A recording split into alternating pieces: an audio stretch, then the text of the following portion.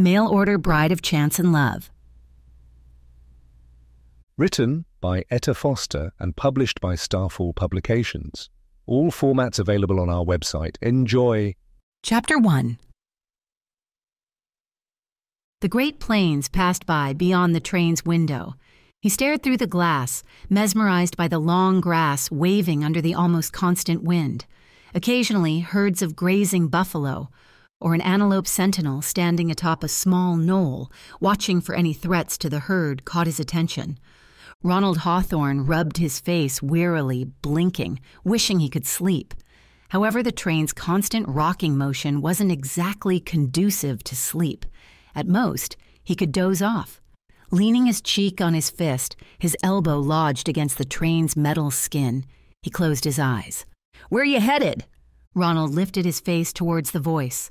An elderly gentleman had taken the empty seat across the aisle from him and now gazed at him with bright eyes and a gap toothed grin.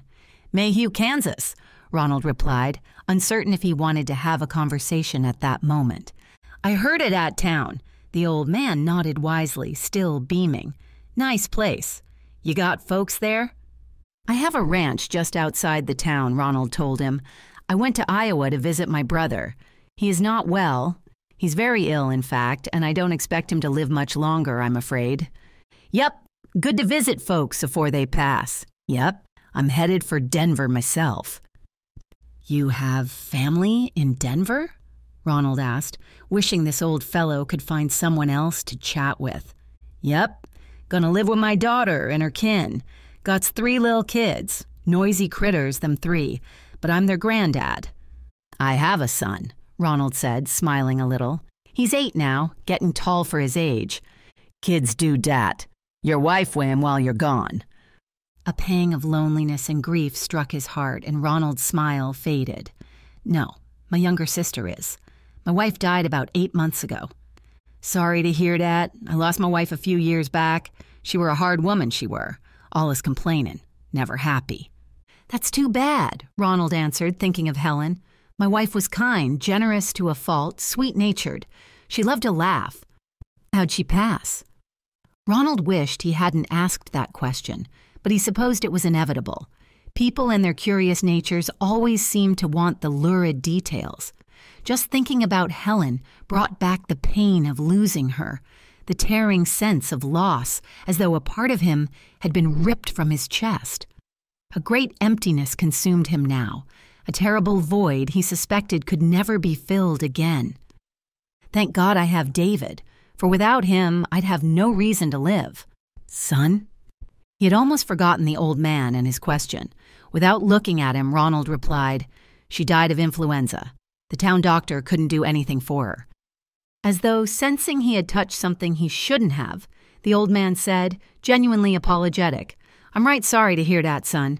It seems that the good folks die afore they should, and the bad uns linger like a skunk's stink.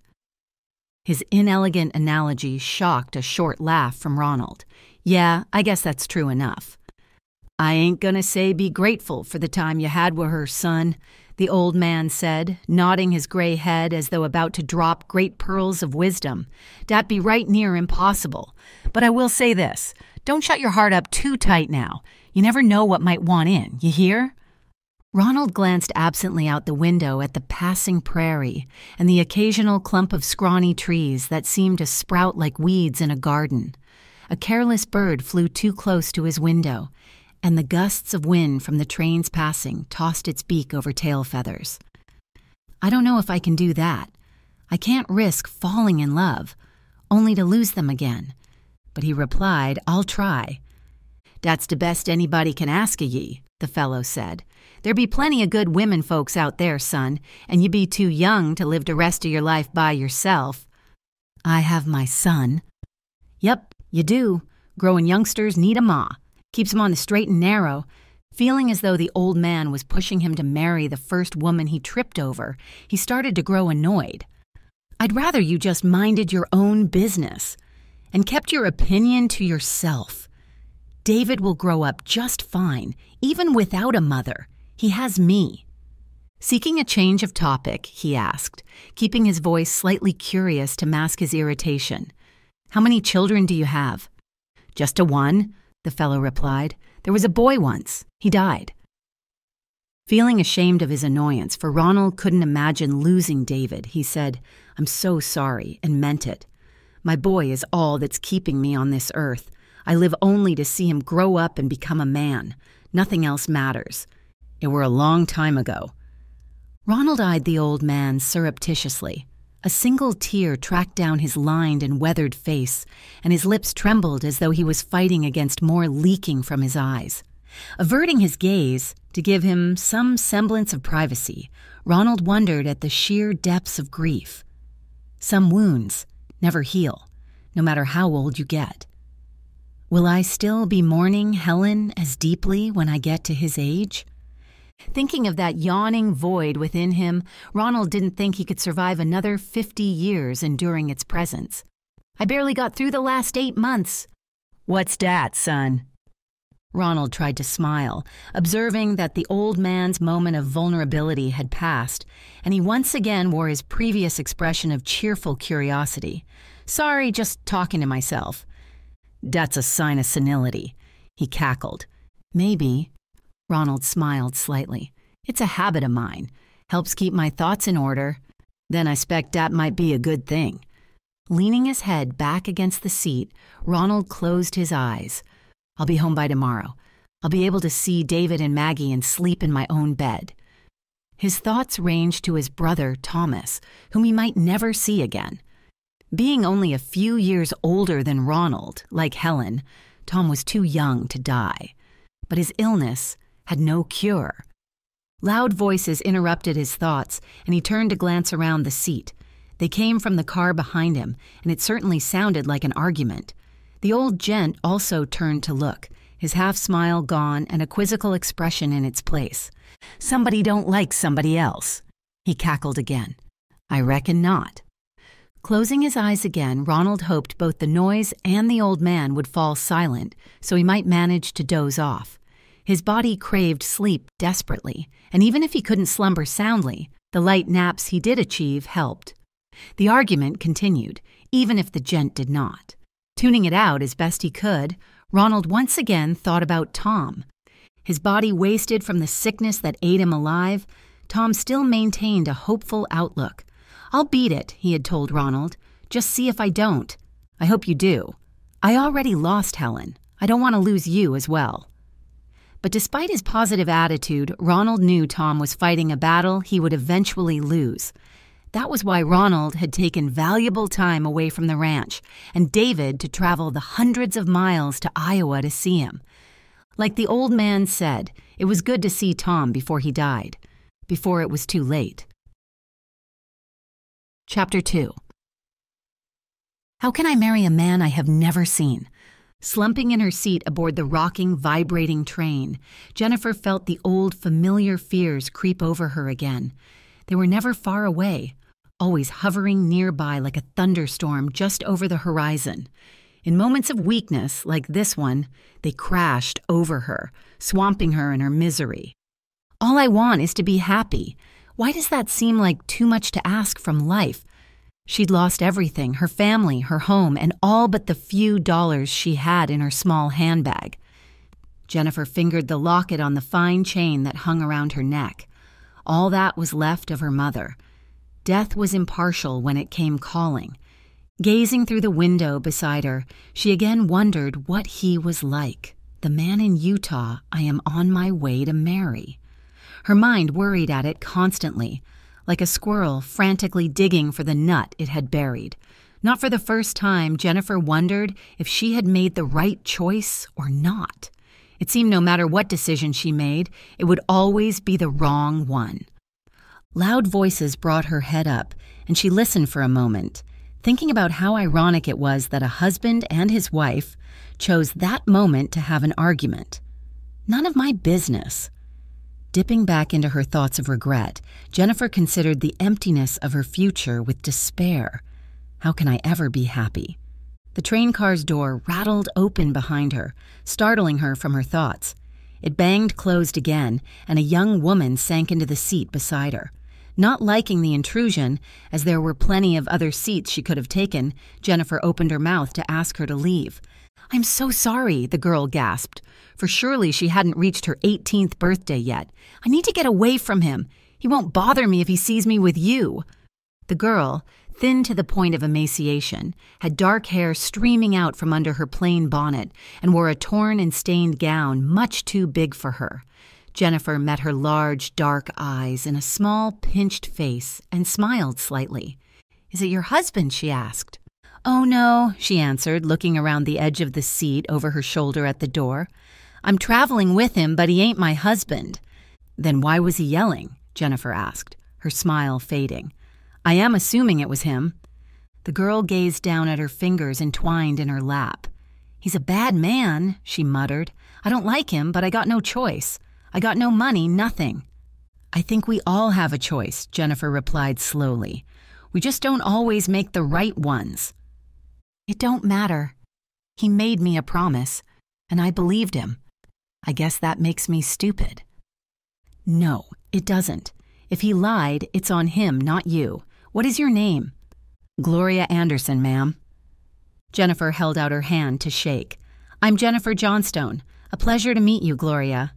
You too, Jennifer. Gloria smiled, and when she did, it lit up her face and made it beautiful. Now, why would you end up with a bad man, Gloria? Gloria twisted her fingers together again. His name is Christian Bates. He promised to take me west, help me find a husband, make me a respectable woman. I got no family, Jennifer. She grimaced. I'm an orphan, you see. Yes, Jennifer replied. I am too. I just lost my grandfather, my only remaining family. I don't have anything or any money either. It's hard, ain't it? Yes, it's never easy for a woman to be alone in the world. Well, Christian made a promise, but he ain't keeping it, Gloria explained. He told me I had to steal for him. He turned me into a thief. As Jennifer gaped, Gloria went on, her pale skin turning red with anger and fear. I told him, no, I don't want to be no thief or steal from good, honest folks. He told me I owed him. I had no choice. Is that when he got so angry? Yeah, told me to steal or else. All I wanted was a good man to marry, maybe have some kids. Jennifer, I ain't no thief. Stealing is wrong, certainly, Jennifer told her. How can he expect you to do that? What does it get him? He said I had a face people trusted, Gloria replied, smiling but he would take most everything, said he'd make sure I was taken care of. Jennifer snorted. Of course he would.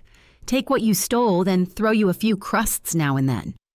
Why did he have to do that? Gloria sounded close to tearing up. All I wanted was to find me a husband and be happy. That's all I want too, Gloria. Jennifer leaned her head back against the seat and stared out the window. I foolishly squandered what little money I had, she murmured. After my grandfather died, I had nowhere to go, no one to turn to. So, what did you do? I answered an advert for a mail order bride. Gloria gasped. You, how does that work? Well, when a man needs a bride to marry, Jennifer replied, turning her face back to the girl, he lets a certain agency know about it. The agency then helps him find a woman who needs to get married. So that's what I did. Now I'm on my way to Utah to marry a man, a stranger whom I've only got a few letters from. Then how do you know if he's going to treat you right? Gloria asked, clearly fascinated. He could be a terrible man who beats you bad. Or he could be the most wonderful man in the country. Jennifer smiled bitterly. Or something in between. You take your chances. If I had known about that, Gloria said, I'd never have joined Christian. I could have married a decent, righteous man already, and he'd be taking care of me. That is a possibility, Jennifer agreed. Maybe it's not too late, Gloria added eagerly. Maybe I can leave old Christian and find me a husband. Jennifer watched her thoughtfully. It's a scary thing to travel to a strange town and marry a man you've never met. I'm doing it, and I really don't want to. It frightens me silly. Oh, that don't bother me none, Gloria proclaimed with a wave of her hand, as long as he takes care of me and don't cause me trouble. Are you serious? Jennifer stared in astonishment. How can you say that? There's more to being married than simply being cared for. My old man used to not take care of my ma and me, Gloria replied, nibbling her lower lip. Then they died when I were just 13 or so. Then I went to live with ma's sister, and her husband were not nice at all. He never hit me, though. My father never hit me, Jennifer told her thoughtfully. I suppose a husband has the right to discipline his wife, but I don't want to marry a man who will treat me badly. As long as I got a roof over my head and a full belly, I don't much care. A man's supposed to take care of his wife. Jennifer stared out the window again, thinking hard. Gloria, do you really want to be married? Oh, yes, ma'am, more than anything. She turned from the window. You're old enough to marry, right? Gloria's expression turned indignant. I am 19. Chuckling, Jennifer went on, You look like you are no more than 15. Oh, I never thought I looked that young, ma'am. Then I have a proposition for you, Gloria. Apropos, what? You pretend you are me and go to Utah in my place. You marry the man I was supposed to. Gloria's dark eyes went round. Really? You would do that? For me? I would. But I have to be honest, Gloria. It is because the thought of marrying a stranger scares me. Then what will you do? Don't say you'll go with Christian. No, of course not. Jennifer laughed at the thought. But this way you are free of him and you get a husband. But what will you do? Gloria repeated. I'll get off the train in one of these towns, Jennifer mused. A nice town. Get a job at the local store or help a seamstress. I can sew really well. Then find a husband? Laughing, Jennifer nodded. Yes, I suppose, in time. Then let's do it. Gloria almost bounced in her seat like an excited child. Reaching into the satchel she carried onto the train with her, Jennifer pulled out the small packet of letters. Read these, she said, handing them to Gloria. His name is Jason Tuttle from Silver City, Utah. But Gloria. Ma'am? Gloria looked at her with adoration, near worship that immediately made Jennifer uncomfortable. Listen, you will have to tell him who you really are. You cannot must not, start a new life on a lie. The young girl frowned, puzzled. Won't he be mad that I ain't Jennifer? He might be, but if you explain to him that we met on the train, I was scared, and you were not, he will forgive you, I'm sure. Gloria stared down at the letters, then hugged them to her small bosom. I don't know how to thank you, Jennifer. Thank me by having a good and happy life. I will, Gloria answered. I promise. We may never see each other again, Jennifer mused, but perhaps we can write letters to one another. Gloria's face fell. I can't write very good, but I'll try. I'll just want to know how you're doing, that's all. I don't care how. A man's deep and ugly voice suddenly spoke beside Gloria. What is going on here? Chapter 3 the elderly gentleman across the aisle had fallen asleep, and Ronald eyed him with no little envy. At least it's quiet now. After the initial raised voices, he heard nothing else save the mild conversations of others in the car with him, and the steel wheels rolling on the tracks. He yawned, thinking he might try sleeping again, when suddenly the loud babble of voices started again. This time, many more were involved, and he distinctly heard the higher pitched cries of a woman. Ronald glanced at the old man who snored on, his mouth open. The noise and commotion came from the car to the rear, where the doors to both cars were open. Ronald saw the conductor in his uniform hurry down the aisle past him and vanish into the press of people. Ronald caught a fast glimpse of it before the door slid shut. She's a thief, I tell you, yelled a voice. I want her off this train right now. Ronald heard that clearly above the rest of the confusion, and he pinched the bridge of his nose, closing his eyes. Mind your own business, Ron, he muttered. Just mind your own affairs. That reminder to himself lasted for only seconds. When he heard the woman's voice rise again in fear, he stood up before he truly could think about what he was doing. He pushed aside the door and crossed into the car, then paused to take in the almost surreal situation he saw before him. A slender woman in a blue green print dress faced what seemed to Ron to be a mob of furious men. She appeared both terrified and angry, yet had enough backbone to stand her ground. Her blonde hair had come loose from its once careful coif, trailing down her neck, and instantly Ronald felt his instinct to protect a woman kick in. Wading into the mixture, he planted himself beside her even as the conductor shouted, Calm down, everyone, just calm down, while holding his hands up. Uh, Ronald met the lady's clear gray eyes briefly before turning his attention back to the mob. One man stood to the forefront, a tall fellow of middle years with deep set brown eyes, a drooping mustache, and dark hair under a cowboy hat. Calm down, I say, the conductor yelled again, and this time the babble faded down to angry mutters. Now, what in tarnation is going on here? he demanded, turning to face the woman and Ronald, then the gathering of men in the aisle in between seats. The tall man pointed a furious finger. That woman there is a thief, he snapped. I want her off this train. Shouts and cries of, Yeah! Get her off now! We want no thieves on this train, erupted in the wagon.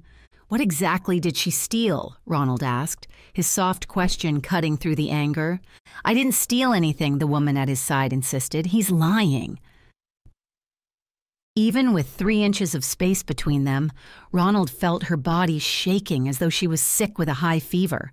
He glanced at her tight face, her desperate eyes. He knew she was telling the truth. How, he wasn't sure, but he saw none of the signs a liar could usually never hide. She stole something from me, the man declared. I caught her at it and I got it back. But if she ain't tossed off this train, she'll be stealing again. What did she steal? Ronald asked again. That don't matter. Hooking his thumbs through his belt, Ronald took a step forward to stare the man in the eye. It matters to me, especially if you're accusing an innocent woman. She ain't innocent, he declared, then turned to stir up the small crowd. We don't want her on here with us, do we, boys? As the shouts escalated again and the conductor tried again to calm them, Ronald glanced around the rest of the car. Several women in sunbonnets looked on, horrified, talking to one another. One, a very young girl who looked on the brink of starvation, cried. Tears rolled down her thin cheeks, and she didn't try to wipe them away. Helpless, the conductor turned to Ronald and the woman. I am sorry, ma'am, but you will have to get off at the next stop. Why? she cried. I did nothing wrong. I can't have a riot on this train, ma'am, he went on, sweating, his hands clasping and unclasping. There's a town coming up, in Missouri. You can catch another train there. Look, Ronald said, his tone reasonable. I will take responsibility for her. Let her come with me to the next car and I will watch her. Not good enough, the mustached man shouted angrily. You go to sleep and then she's at it again. Stop the train and throw her off now. Ronald almost felt sorry for the conductor. Almost. The bald little man helplessly turned back, spreading his hands. The angry men behind him continually demanded he stop the train and shove her off, and that idiot didn't have the courage to stand up to them. Ronald's anger and disgust rose as he pointed his own finger an inch from the conductor's nose. You throw a helpless woman off this train into the wilderness, and there will be hell to pay for you. I'm sorry, the man pleaded, sweat trickling down his cheek. I can't do otherwise. There are too many of them. Ronald snorted. You're supposed to be responsible for all the lives on this train, Ronald snarled. Even hers. It's not that far to Petersburg, the conductor answered, his eyes flicking between Ron and the lady whose name Ron didn't know. She can get there in a few hours. Unless she is killed, you fool, Ronald glared at the mob. You are all cowards, every last one of you. You let one man stir you up into a frenzy over an item he got back and are willing to let this woman die because of it. The men, now silent, simply stared back at him with cold, unforgiving eyes. None displayed guilt or worry or remorse for their conduct. The leader pushed past Ronald to stride quickly toward the front of the train. Then he felt the light touch on his arm. Ronald swung toward the girl. It's all right, she said, her lips quivering. I'll get off. Maybe someone in this town will help me. No, ma'am, Ronald said, his fierce glare raking over the men and the conductor. If you get off this train, so will I. No, she protested. You mustn't. I am not about to permit a young woman to roam in the middle of nowhere on foot. Once we get to Petersburg, we will figure something out. The train lurched forward as it suddenly slowed, throwing the woman into Ronald. He caught her by the arms before she could send them both tumbling and felt her shaking. Thank you, she murmured as they regained their balance, and the train continued to slow down. Displaying more courage than many men Ronald knew, she shoved her way through the circle of men, most of whom glowered as she passed. She went to the crying girl, and the two spoke softly for a time.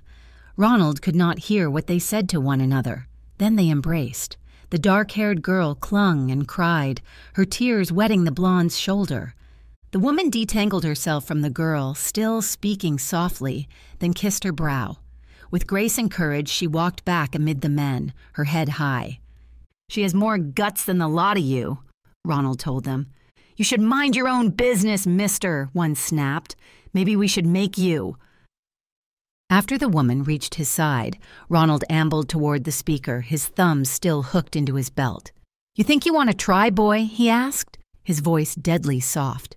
The fellow took a step back, stumbled over the boot of one of his fellow mobsters, and almost fell into a woman's lap. His eyes wide, he quickly shook his head. Ronald stared into the eyes of the others, unblinking. You all think I should be minding my own business? We want no more trouble from you or her, another man in a bowler hat said. Just get her off the train, sir.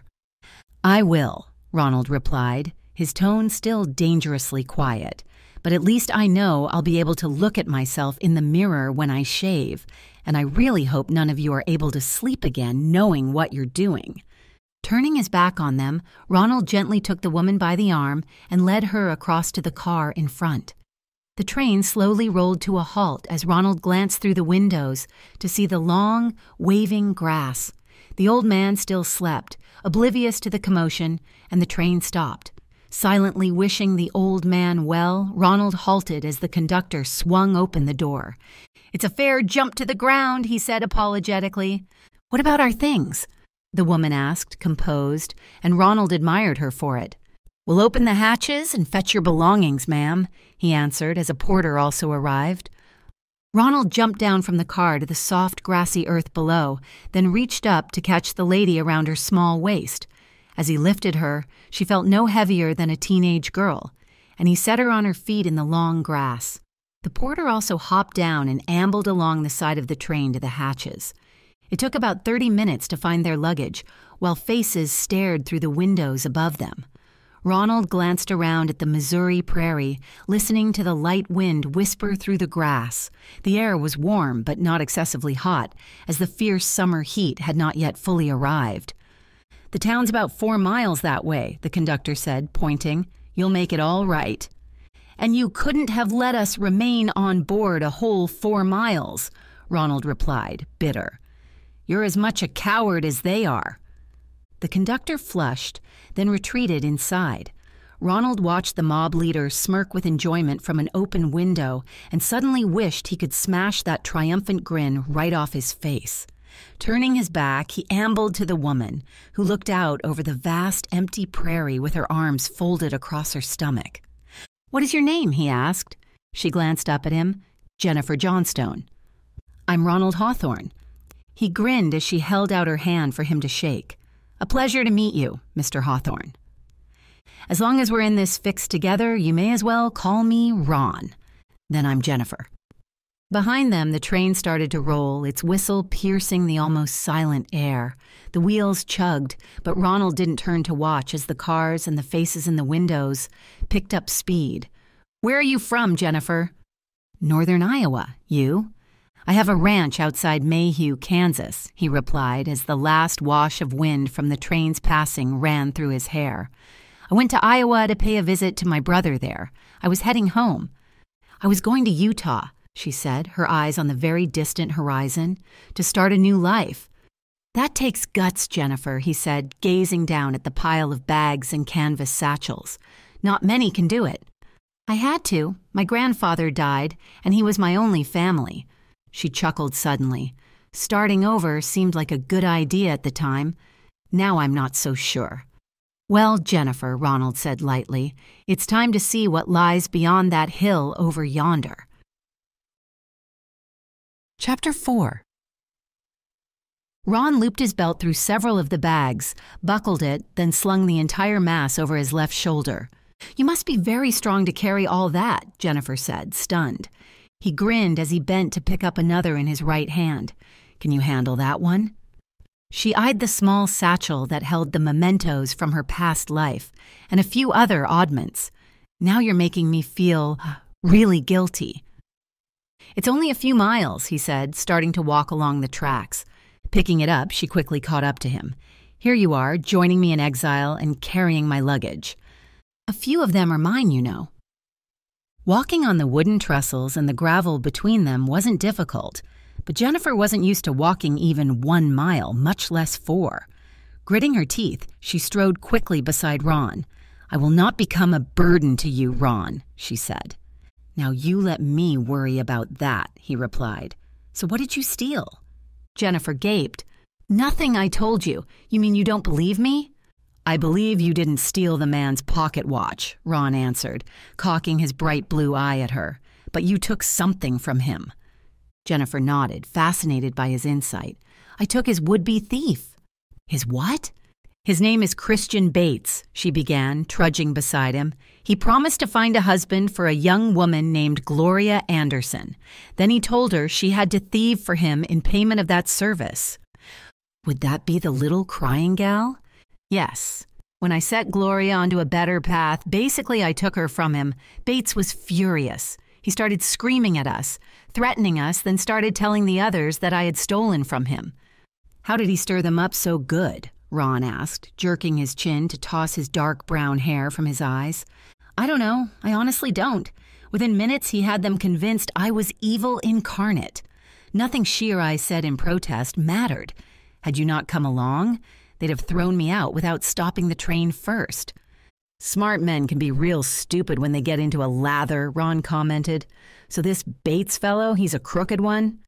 From what little Gloria was able to tell me before he interrupted us, I believe he is a criminal, and had I not stopped her from going on with him, I think she would have come to a very bad end. Ron caught her eye. What will happen to her now you're not there to protect her? Before the mob got too riled, Jennifer answered, I did manage to get Gloria under the protection of another woman and her husband. They are going to a town near where she is headed, and they have agreed to look after her. That's a good thing you did, Jennifer, he remarked, giving her another boyish grin, and I'm pleased to have met you. Thanks. Jennifer felt a warm flush at his praise. I had no idea he was that evil. I honestly thought that if she stayed with me, he'd simply ignore her. Some folks are just born mean, Ron commented, giving her another glimpse of those pure blue eyes. Like a horse or a cow, though them critters are rare. Animals now, they aren't always born mean. People make them that way. But some people are born with the devil in them. So, tell me about you, Ron, she said. Clearly, you were not born with the devil in you. That brought a grin to his face. I'm just a plain rancher with a spread in Kansas, he replied, shifting the burden on his back more comfortably.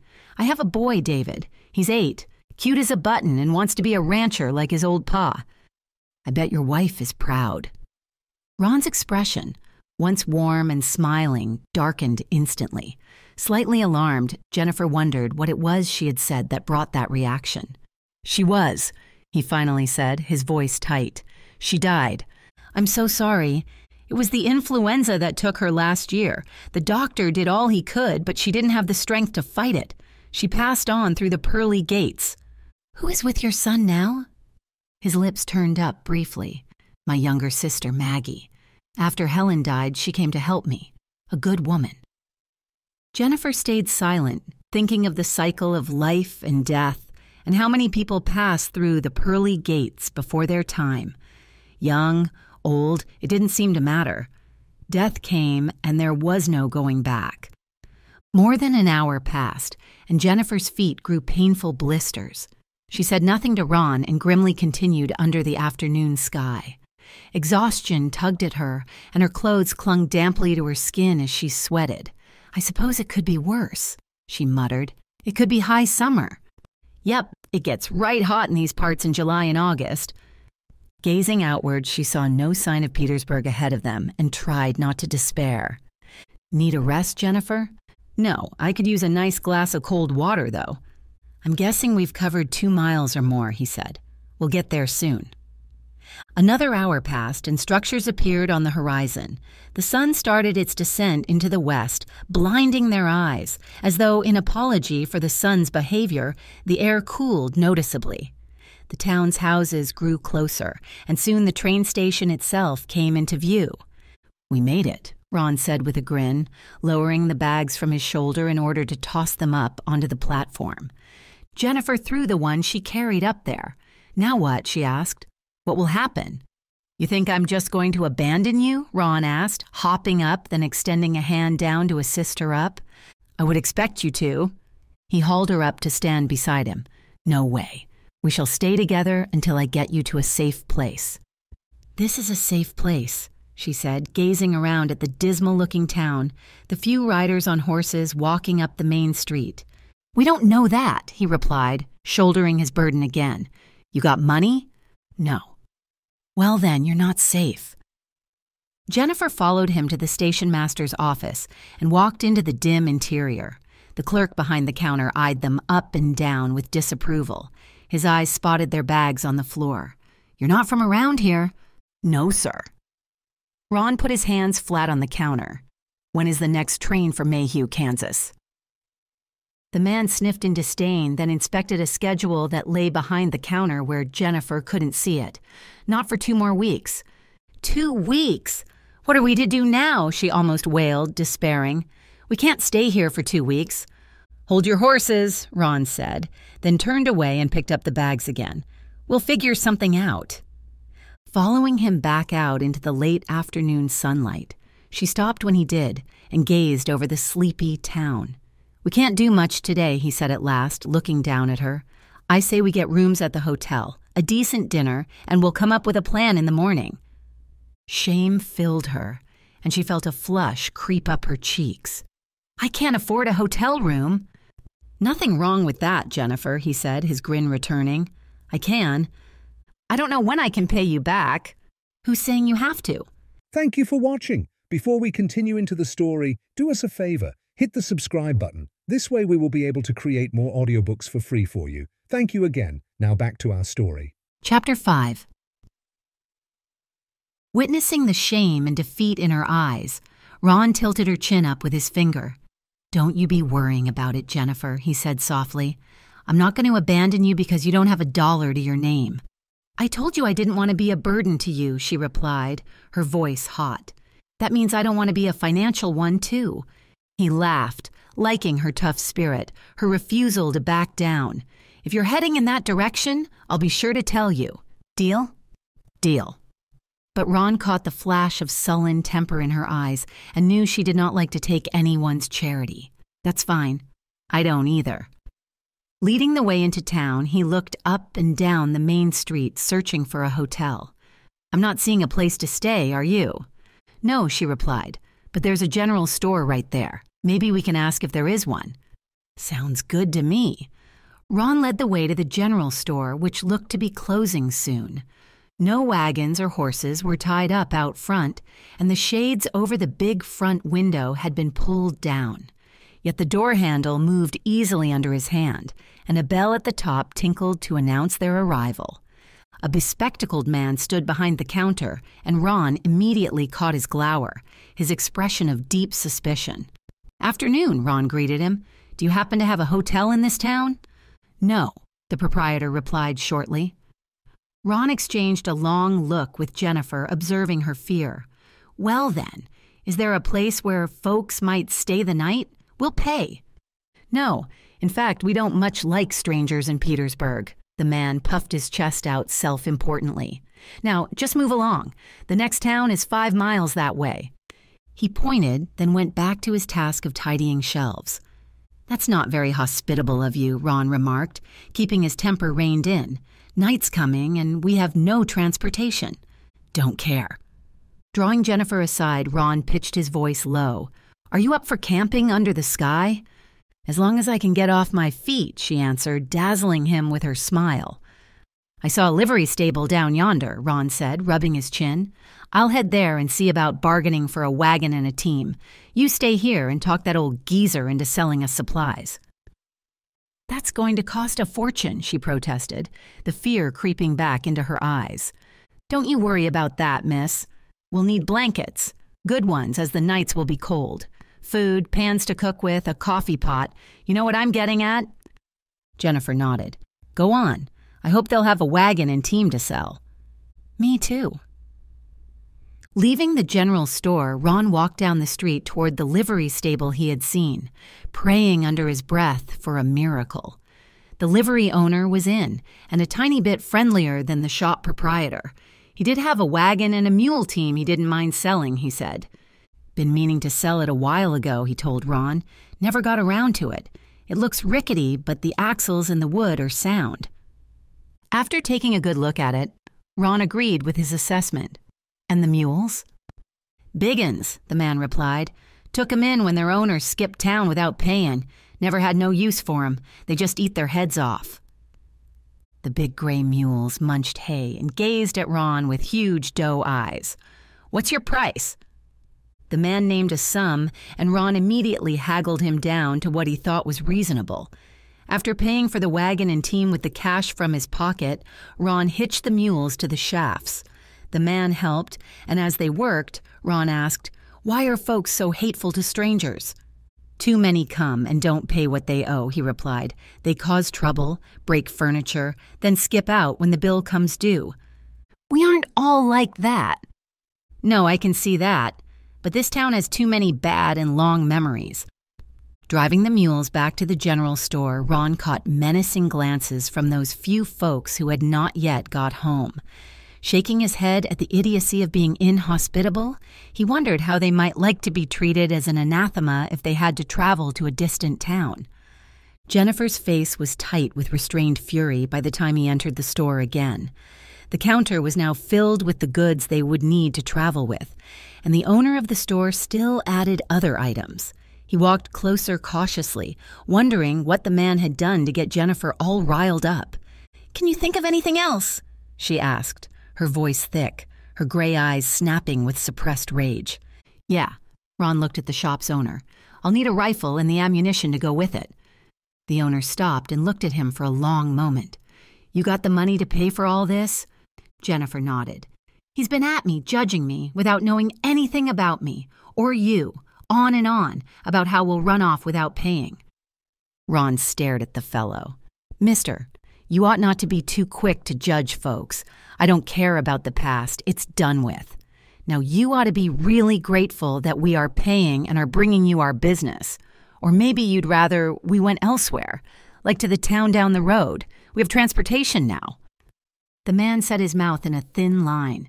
Let me see your money. His anger rising at the veiled insult, Ron removed the cash from his pocket. Jennifer's eyes widened, but she said nothing. With a sharp nod, the proprietor escorted Ron to the rack of rifles. Take your pick. Ron selected a Winchester, examined it closely for faults, then walked back to set it on the counter. Ammo. After purchasing the goods that would see them on the road, Ron and Jennifer carried everything to the wagon out front. Darkness had crept in as they bought the things they needed to travel to Kansas. The air had grown noticeably colder. As they left the store for the final time, Ron heard the door lock behind them. He had me so angry, Jennifer said as he handed her up onto the wagon seat. He was so insulting. Ron walked around the mules to climb up to sit beside her, then picked up the Winchester. Yep, he replied as he loaded it, then set it on the floor at their feet. The livery stable man said strangers run out on their bills. How many strangers have come through here and paid for what they bought? Ron laughed as he slapped the reins on the mules' rumps, sending them into a brisk trot. I bet they don't bother to count those folks. Taking the road west, Ron listened to the coyotes yipping on the prairie. Half expecting the sound to spook Jennifer, she turned her head toward the direction the sounds came from, but made no comment. Further away, a wolf howled and was answered by others. The coyotes instantly went silent. That noise don't worry you? he asked. Is it supposed to? He laughed. Nope. Wolves and coyotes are too afraid of people and shy to be dangerous to us. They're only deadly when cornered. I have no intention of cornering a wolf. Me neither. I'm looking for a camping place near water. Shout out if you see something like that. They found a chuckling stream about a mile on, and Ron steered the mules toward it. On the banks were groves of trees, plenty of deadwood lying beneath them for firewood. Do you mind collecting wood while I unhitch? he asked. Of course not, Jennifer answered, a smile in her voice. I'll do my share of the camp chores. By the time he had watered the mules and hobbled them to graze, Jennifer had accumulated a sizable pile of wood. She had also scraped out a fire pit and lined it with rocks from the creek. As Ron examined her work, she was busy unloading the boxes of food and blankets and setting them near the fire. What's for supper? he asked, grinning. How about a stew made from dried beef, carrots, and potatoes? I reckon I'll get the fire built so all that can happen. Within an hour, Ron sat on his blanket beside the fire watching Jennifer stir the stew as it bubbled in its pot, hung over the flickering flames. Smells great. Jennifer smiled, the fire lighting her face in orange and red. She had let her hair down from its once tidy pile on her head, and it flowed over her shoulders like a silken river. It's almost ready. I thought that for breakfast we'd have fried ham and potatoes. Don't mind if I do. The stew was as tasty as it smelled, and Ron helped himself to three bowls of it. Now, if that don't hit the spot, he said, then gulped cold water from the creek. Not too bad, I guess, Jennifer replied, still working on her second helping. I'm not used to cooking outdoors. You're doing a fine job so far. Jennifer took the pot, the bowls, and the utensils to the stream to wash them, while Ron checked on the mules then fed the fire with more chunks of wood. It's a clear night, he commented as she came back, gazing up at the brightly shining stars above. Might be a bit cold. Take that extra blanket and wrap up warm in it. I am getting cold, she admitted, then sat down and settled one around her shoulders. Lie down as close to the fire as you can, he said. I'll wake and keep it going through the night. Jennifer gazed across the flickering, dancing flames. To say thank you for all that you've done is not enough. I couldn't abide seeing a lady in trouble without offering to help, he replied, admiring her beautiful face, the sleek fall of her hair. You've gone above and beyond mere help, Ron. I don't mind. If I were to go all the way to Kansas with you, she began slowly, would there be employment opportunities for me there? Sure, Old Man Thompson at the store has been begging for help. So is Mrs. Oldwood. She runs a place that makes dresses and such. She claims she needs a new set of eyes and hands. The stable fellow needs someone to muck stalls. Jennifer laughed. Then perhaps I will make Mayhew, Kansas my new home. Be darn glad to have you, Ron said with a grin. We aren't as rude to strangers as those folks back yonder. That's good. We'll be on the road a while, he said, his grin fading. It won't be easy, roughing it like this. As long as I have you to teach me, I'll be fine. A short while later, Jennifer rolled herself into both blankets, lying down with her head pillowed on her arm. Ron remained awake for another hour or so, feeding the fire and watching the stars in their courses overhead. Then he too covered himself with his blanket and soon fell asleep. After a hot breakfast in the chilly morning air, Ron and Jennifer continued on, traveling west. Of course, with nothing to do but talk to one another, Ron learned a great deal about Jennifer, as she did about him. And the more he learned about her, the more he liked her. She was kind, soft hearted, quicker to smile and laugh than get angry. He liked that aspect of her, just as he admired her tough spirit. They passed the town that the general store's owner told them about without stopping, then made their destination the next one up the road. If this one has a hotel, he told her, we'll get rooms. I don't mind roughing it, she told him. Save the expense. He winked. And not give me the chance to spend the money I earn? Money should be saved, not squandered, she said primly, says the one who admitted to squandering. I learned my lesson, believe me. They arrived at the town of Westbrook, Missouri, near the border with Kansas, an hour before sunset. Ron drew the mules to a stop in front of the tall, white, clapboard hotel and stared up at it. Let's see if these folks are more hospitable. It turned out they were happy to have a custom. We haven't had many travelers lately, said the woman at the counter with a cheerful smile. Two rooms, you said. Dinner will be served in an hour. A boy took charge of their mules and wagon, leaving Ron and Jennifer to examine the comfortable rooms. I like being greeted with a smile, Jennifer commented as they walked back down the stairs to the hall where dinner would be served. I'm thinking we should stay for a day or two, Ron said as they sat down at a cloth covered table. I should send a wire to Maggie, let her know I'm still alive, and I heard someone mention a town dance. Of course, Jennifer looked aside at the mention of spending more money on her. Ron also liked that about her, and he knew it was not just an affectation. She truly worried about the money he spent. You shouldn't be spending money on a hotel, she said, her voice low. We should move on. I have an opportunity to take a beautiful woman to a dance. He grinned. I can't pass that up. Though he had known her for less than 36 hours, Ron felt he had known her for far longer. When he was with her, he felt less lonely, more like a young bachelor than a widower. The shadows over his heart moved back for a time and allowed the sun to shine again. He fully enjoyed her company, and no other woman he'd met since Helen died made him feel that young again. Jennifer wore her best dress to the dance the town put on the following night, smiling, laughing, utterly beautiful. Ron took her in his arms to dance, knowing he was the envy of most of the men there. Jennifer danced with no one except him. You make me feel so free, he murmured, his face close to hers, his eyes looking into hers. So young, as though I've been born again. You make me feel safe, Ron, she whispered her arms around his neck. No one has ever treated me like this before. Then I am happy to be the first. Chapter 6 Walking out of the hotel the next morning, Jennifer tied her bonnet ribbons under her chin, pausing to look around. The sun shone down, mild and warm, and a few townspeople who passed by smiled with pleasant greetings for her. A short distance away, Ron stood beside the hitched mules, absently stroking a mule's neck as he talked to a couple of local men. I don't want to interrupt, she thought. Deciding a short walk down the street would pass the time until Ron was ready to travel, Jennifer strolled along the pavement.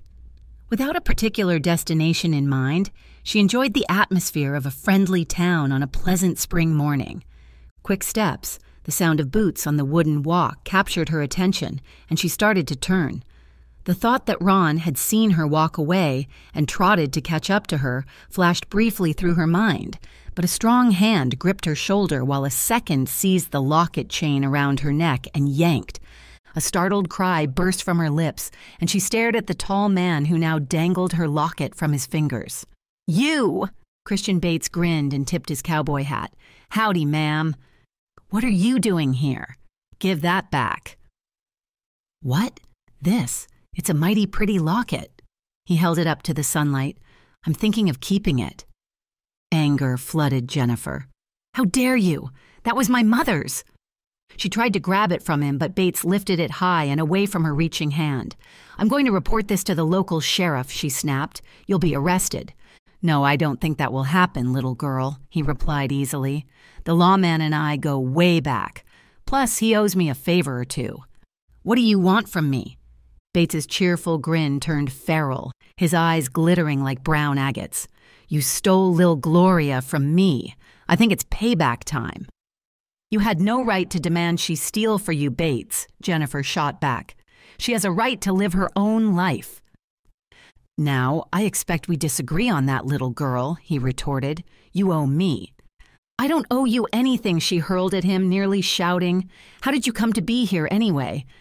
I got off the train at Petersburg, he answered, smirking. Been following you. You're an evil man, Bates. I ain't. But I want to be fair. I'll tell you what. You and me have a little card game. You win, you get your precious locket back. Wary, Jennifer eyed him with suspicion. And if I lose? Oh, don't be worrying about that, he replied jovially, yet the hard glint never left his eyes. How much you got on you? Only a couple of dollars. We play, and all you risk is the locket and your few dollars. Your sweetheart down the way can afford to keep you in pretty dresses. Uncertain, Jennifer watched him carefully. Desperately needing the locket back, she knew she would do just about anything to get it. It had been her mother's, and her mother's before her. One game. That's all we need. Bates pulled a pack of cards from his coat pocket and shuffled them, watching her as closely as she watched him. He gestured toward a nearby bench. Have a seat, little girl. Perching gingerly on the edge, Jennifer never took her eyes from him, half expecting him to perhaps attack and kidnap her. Instead, Bates sat down, still shuffling the deck. At last, he dealt them out, five cards for each of them. Picking up her hand, Jennifer refused to let her dismay show on her face. Well, little girl? She discarded two, and Bates dealt her two more cards even as he smirked over his own hand. Jennifer wondered if the cards were marked, and another glance at his triumph told her they were. You're cheating, aren't you? she snapped, outraged. Me? Why would I do that? Because you're evil. Put your money out. Putting her cards face down on the bench, Jennifer opened her small handbag and took out the last few bills remaining to her. Bates eyed them. I reckon you weren't lying about no money. I'm not a thief and a liar like you. He grinned. How's your hand? Jennifer discarded one more and received another from the deck. She knew it was hopeless, for she had only a pair of twos, a three, a jack, and a queen. Your call. Bates set the locket down on the bills, then showed his hand. A full house. Jennifer glared. You cheated. The cards are marked, aren't they? He dared to look insulted. How about we try again? This time you deal. Winner takes all. The sound of briskly trotting hooves and the rattling of a wagon interrupted her biting comment before it emerged. Bates' eyes widened as he looked past her shoulder. In a lightning move, taking advantage of his distraction, Jennifer seized her locket and the money. She stepped back away from Bates, seeing his face turn a dark red in his fury. Stop right there! Ron's crisp voice and the cocking of the Winchester sounded at the same time. Bates froze, staring up at Ron in the seat of the wagon. This is between me and the lil lady, he snarled, his eyes narrowed. It ain't none of your business. I'm making it my business, Ron replied evenly. Jennifer? He stole my locket. She half turned to him, yet kept a wary eye on Bates. He was still close enough to grab her if he dared try. I'd make a very useful hostage. Retreating another few steps, she went on. He said if I won a game of cards, I could have it back, but he cheated. You calling me a cheat, woman? You're a cheat, a liar, and a horrible man. Get on up here, Jennifer, Ron ordered, his gun leveled at Bates' chest. Time to move on. Still keeping her eyes on Bates, Jennifer rounded the back of the wagon, then lifted her skirts to climb up to the seat beside Ron. Now you drive the mules while I keep my rifle on this scoundrel. That woman owes me, Bates roared, frustrated and enraged, his fists clenched. She took my gal. Jennifer doesn't owe you a red cent, Bates, Ron answered coldly. Neither did that lil gal on the train. Now, if I catch you tagging along behind us, well, next time I won't be so friendly. Slapping the reins on the mules' rumps, Jennifer encouraged them to start off at a trot. Ron swiveled his body to keep the Winchester trained on Bates, and when Jennifer shot a look over her shoulder, Bates stood in the street watching them go. Relaxing with a sigh, Ron lowered the rifle, then set it on the floor of the wagon. Here, I'll take those back. Jennifer handed him the reins. She put the money back in her bag, then examined the broken chain. I couldn't let him take this, Ron, she said slowly. It was my grandmother's, then my mother's. I can understand that. Ron turned his head to look at her, and Jennifer withered under his fierce, blue eyed stare. But you shouldn't be taking on men like that. That's what I'm here for. You can't fight all my battles for me, she replied, meeting his angry gaze. No, I can't, he answered it, but that was one fight I should have been involved in. She chuckled.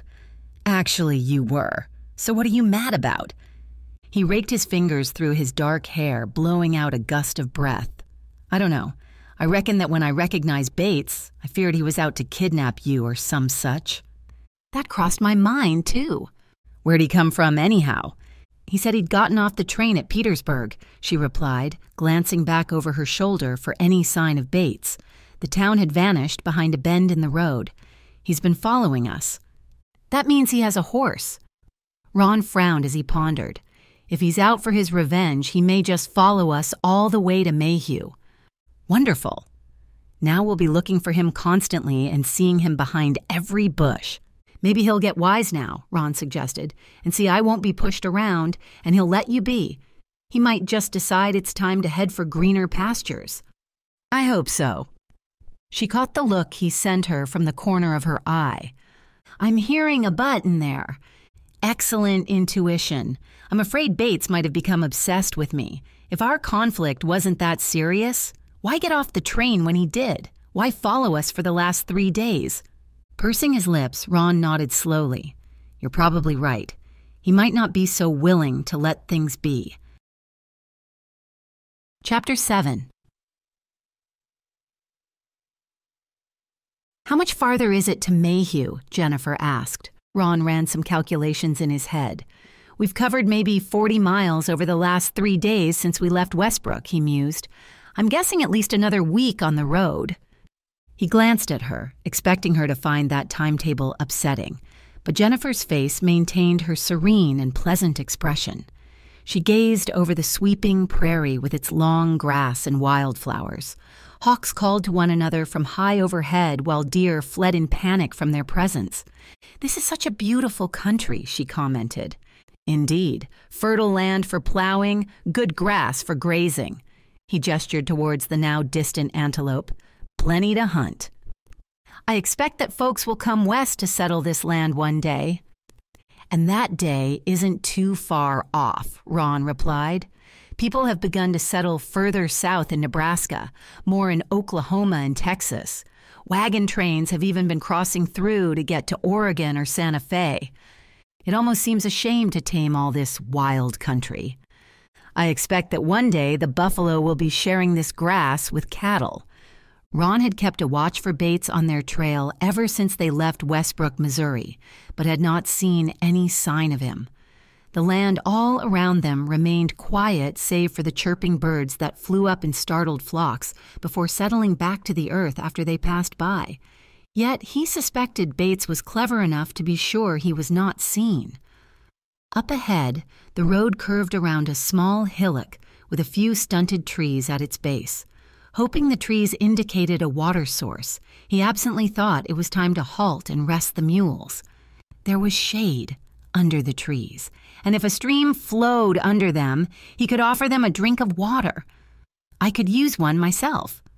The team had reached the curve of the road with no sign of a stream or creek, but three riders galloped out from behind the hill, rifles pointed straight at them. Ron heard Jennifer gasp in shock as the wagon was surrounded in seconds. Hands up, mister, one ordered, a bandana covering the lower half of his face. Move and I'll shoot. Ron knew he'd have no time to reach for the Winchester at his feet before the three opened fire and gunned them both down. We have nothing, he said, his voice steady, raising his hands. You too, lady, the outlaw ordered. Jennifer obeyed, raising her hands up so they could be clearly seen. All I have is a few dollars, she told them. Take it and leave us in peace. Hand it over. Moving slowly, she picked up her small handbag, the precious locket safely in the pocket of her dress, and tossed it to the leader. He opened it, removed the money, then threw it back. Where's the rest? We spent it all on our goods, Ron answered. There is no more.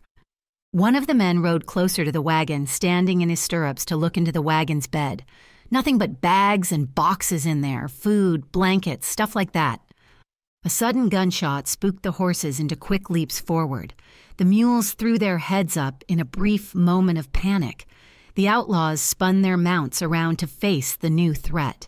The instant their backs were to Ron, he bent and lifted the Winchester to his shoulder. His first shot hit the outlaw leader in the leg. The man cried out in pain, then half turned to fire a shot at Ron from his six shooter. The bullet struck the wagon's side, splintering the wood. Ron threw himself at Jennifer and tumbled them both over the side, the rifle still in his hand. Keep your head down, he ordered her, then popped up from behind the wagon's protection to fire another shot. A group of six riders galloped hard towards them over the prairie, firing their rifles at the raiders. The three, trying to control their half panicked horses, fired back. Blood coursed down the bandit's leg where Ron's bullet was lodged, and he reined hard around to spur his horse behind the wagon.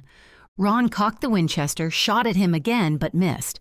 The leader fired his revolver twice in quick succession, the bullets striking the wagon's sides. Jennifer cried out in pain. Then the outlaw dug spurs into his horse's flanks and galloped away. His companions, yelling curses, followed him riding hard even as the approaching group passed Ron and Jennifer by without stopping, pursuing the bandits with a vengeance. To his surprise, they were Native Americans. Their long black hair flowed in the wind, feathers tied into the strands. Painted symbols marked their horses, and several wore headbands to keep their hair from their eyes. Garbed in leather and carrying rifles, they paid Ron little attention. Ron crouched beside Jennifer, are you all right? She lifted her right hand from the wound over her upper left arm. I think I've been shot. She tried to smile. Let me have a look. Blood had soaked her sleeve. He ripped the cloth open and examined the wound, relieved that it was not life threatening. It looks like it grazed you, he commented. I don't believe it went through your arm. It sure feels like it. Sweat from pain dotted her brow under her bonnet and slipped down her temple. Jennifer's skin had paled, but she didn't appear to be in shock. Ron saw no blue tinge around her mouth that indicated she might faint or bleed to death. May I tear cloth from your petticoat? Jennifer laughed, a good sound. Sure, it's old and worn anyway. I'll buy you a new one. No, you won't. Lifting her skirt, Ron bared her petticoat and tore long strips from it. He bound her bleeding arm, listening to her hiss of pain. Sorry, Ron, those Indians are back. He tossed a glance over his shoulder. The Native Americans sat in their saddles in a line watching them. Their rifles, still in their hands, were pointed up, the stocks set against their thighs. I think they might be on our side. Tying the bandage, Ron helped Jennifer to stand up. I'm going to have a talk with them. Be careful leaving her to lean against the wagon. Ron, still holding his rifle but pointed up as theirs were, took a few steps towards them. He spread his right hand outward in a token of peaceful intentions. We owe you our thanks. One of them nudged his horse towards Ron, then the others followed to flank him. For a long moment, he and Ron gazed at one another. The indigenous man had a strong face with a hooked nose, and his large dark eyes stayed impassive, unreadable. Those white men have raided our herds, he said at length, stolen our horses. I am Chief White Bear. I am Ronald Hawthorne, Ron replied, then gestured towards Jennifer. My companion is Jennifer Johnstone. I shot one of them in the leg. Good. If they come back, we must kill them. White Bear looked beyond Ron to Jennifer. She is wounded? The bullet grazed her arm. Turning to his companions, White Bear spoke in his language for a time, seemingly asking questions, receiving replies, discussing something. At last he turned back to Ron. You may come with us. Our village is not far, and our healer will help your woman. Ron glanced back at Jennifer and observed her half shrug and nod of agreement. We will come with you.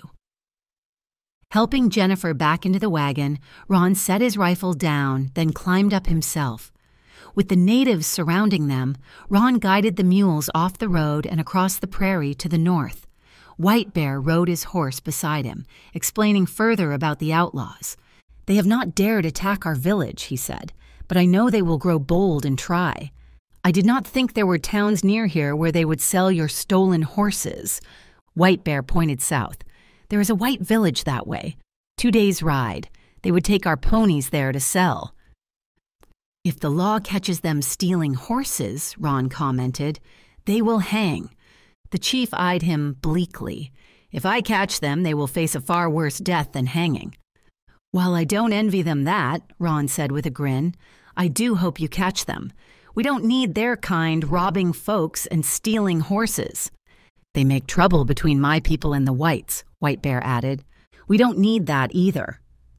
Jennifer did not speak much as they traveled with the natives and held her wounded arm cradled in her right. Ron grew concerned about her as she was clearly in pain and refused to complain about it. After an hour of traveling, the village appeared on the horizon.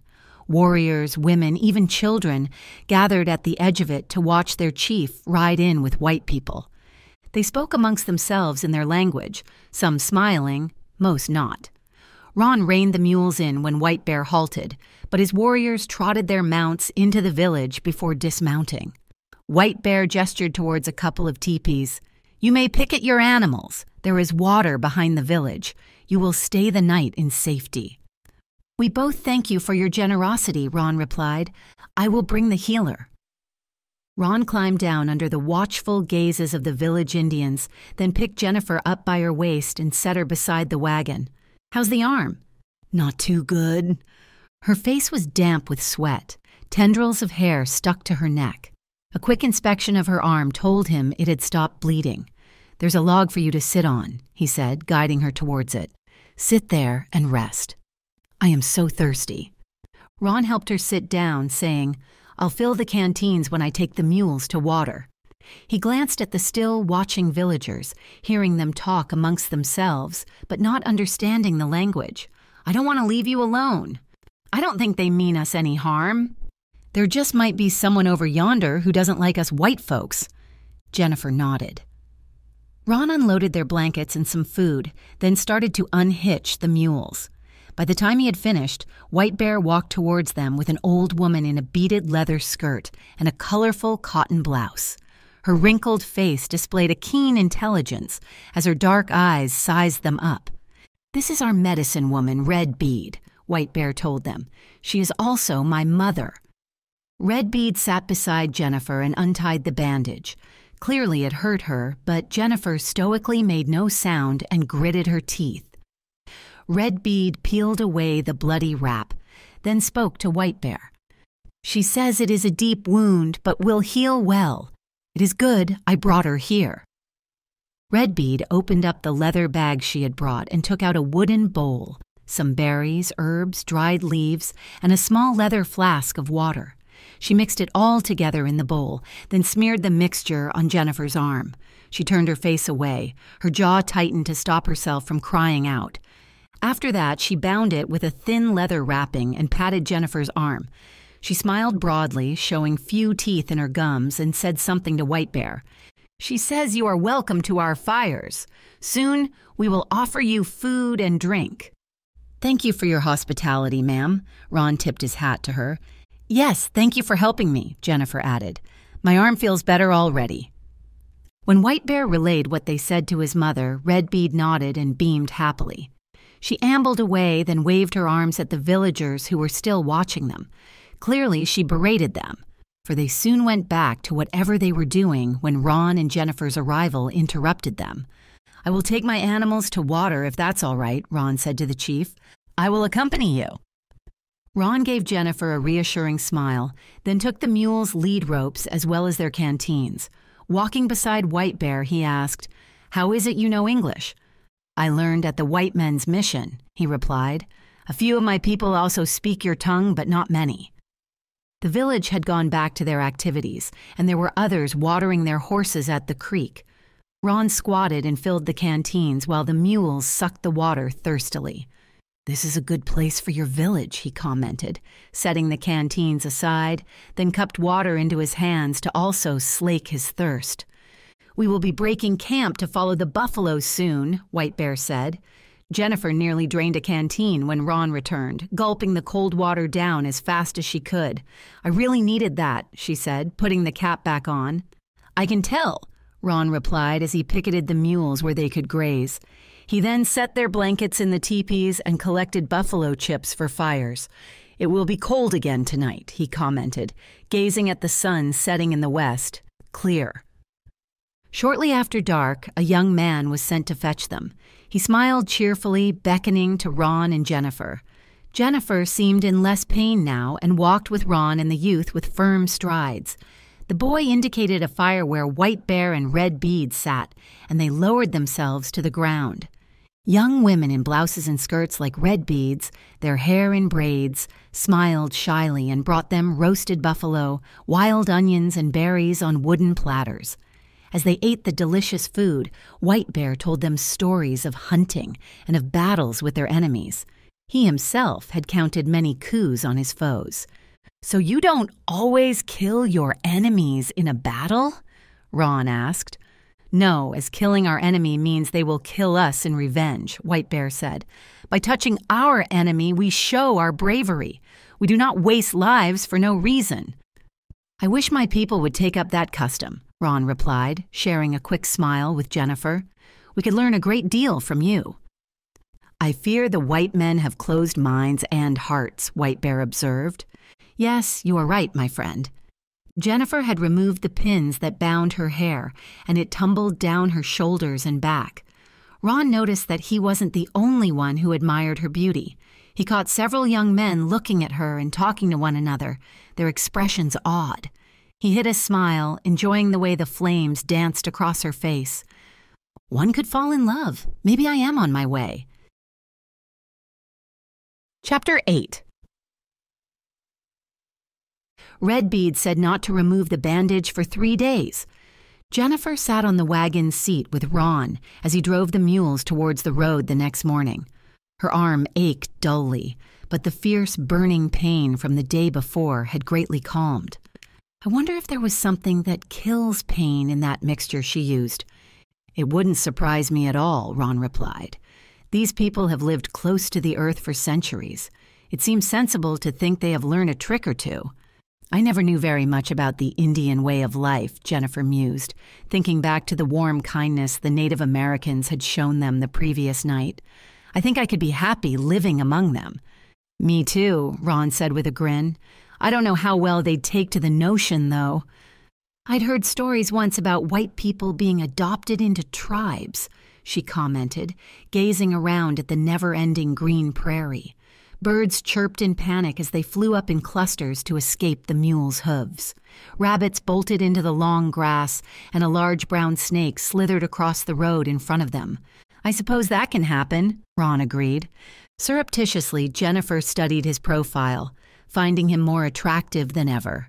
Gazing again at the waving grass that stretched across the vast horizon, she knew she had fallen in love with him how that had happened in a span of a week was beyond her, but it had happened. He is everything I ever wanted in a man a husband. Kind, generous, humorous, courageous. But could it work? Could Ron love her in return? He had not advanced any further in his friendly attitude towards her, no indication he might take a romantic turn. Jennifer pondered his loss, the death of his wife. He might not be ready for a relationship so soon after his Helen died. You said there are employment possibilities in your town, she asked? For a woman with no husband? Ron glanced at her sidelong and smiled. Yes, and the lady who runs the boarding house is a very sweet lady. She looks at her tenants as though they were her children. Oh, that's very nice. Even if Ron could not return her feelings, at least Jennifer would have an income and a roof over her head. And Mayhew is a friendly town, accepting of strangers? Ron laughed. Most folks in Mayhew would be appalled to learn how we were treated in Petersburg.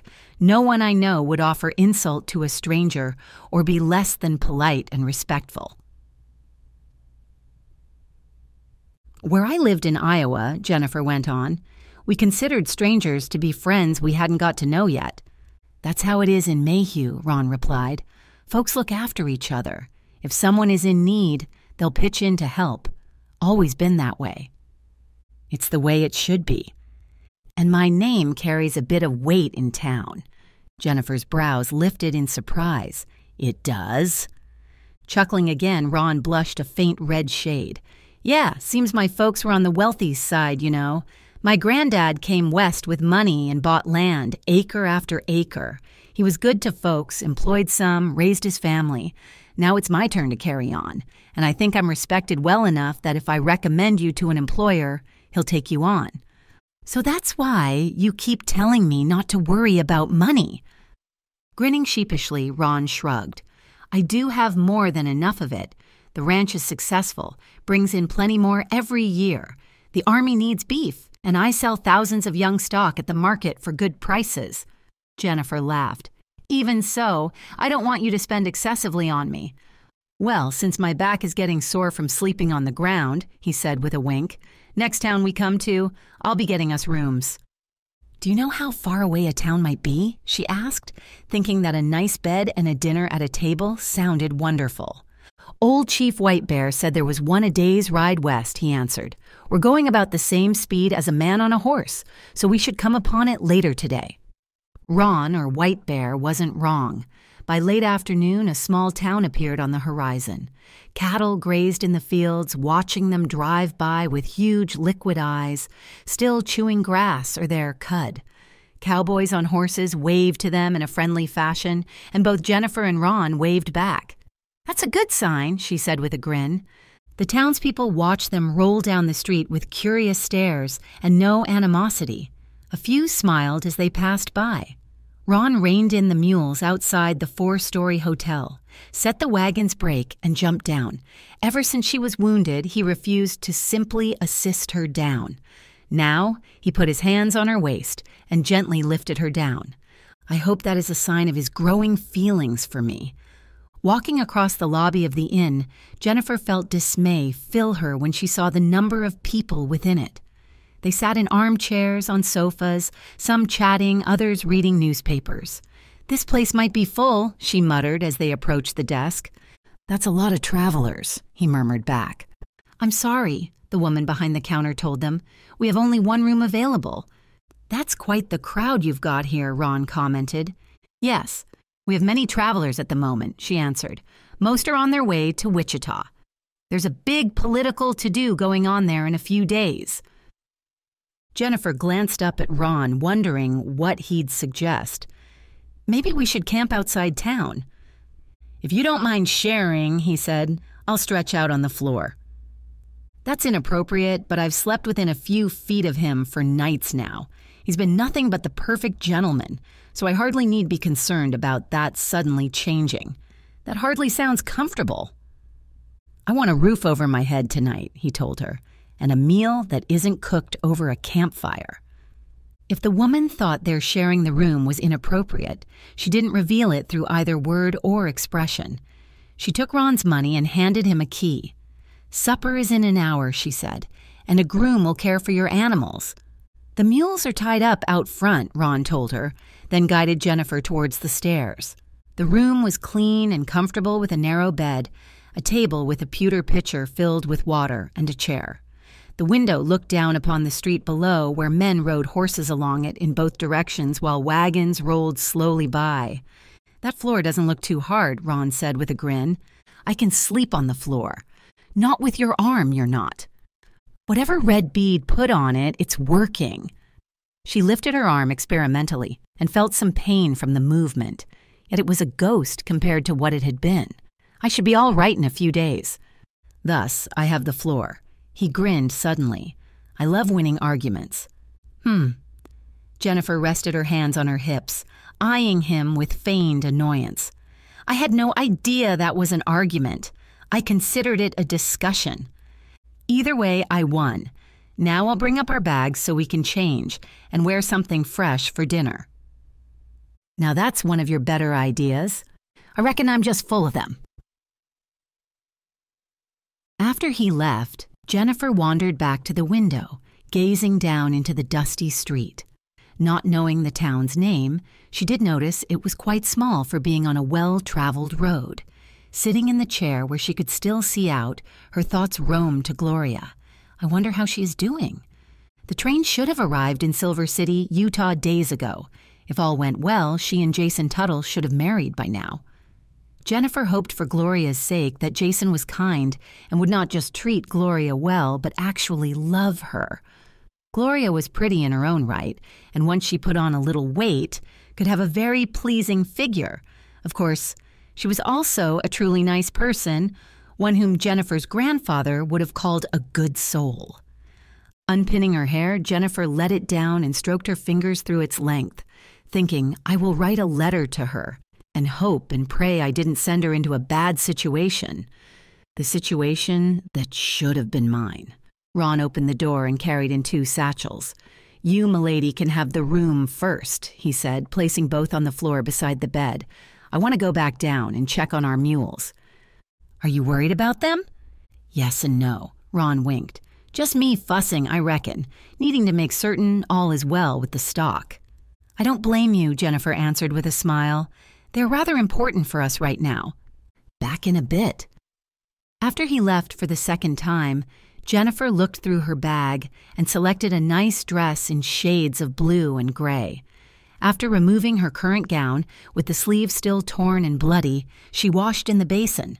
Feeling refreshed, she garbed herself in the clean dress and put the other away. At the first opportunity, I'll have to scrub and mend it. A knock at the door heralded Ron's return. I'm decent, she called.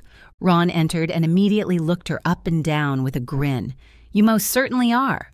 Laughing, Jennifer said, Just let me put my hair back up, and then I'll meet you downstairs.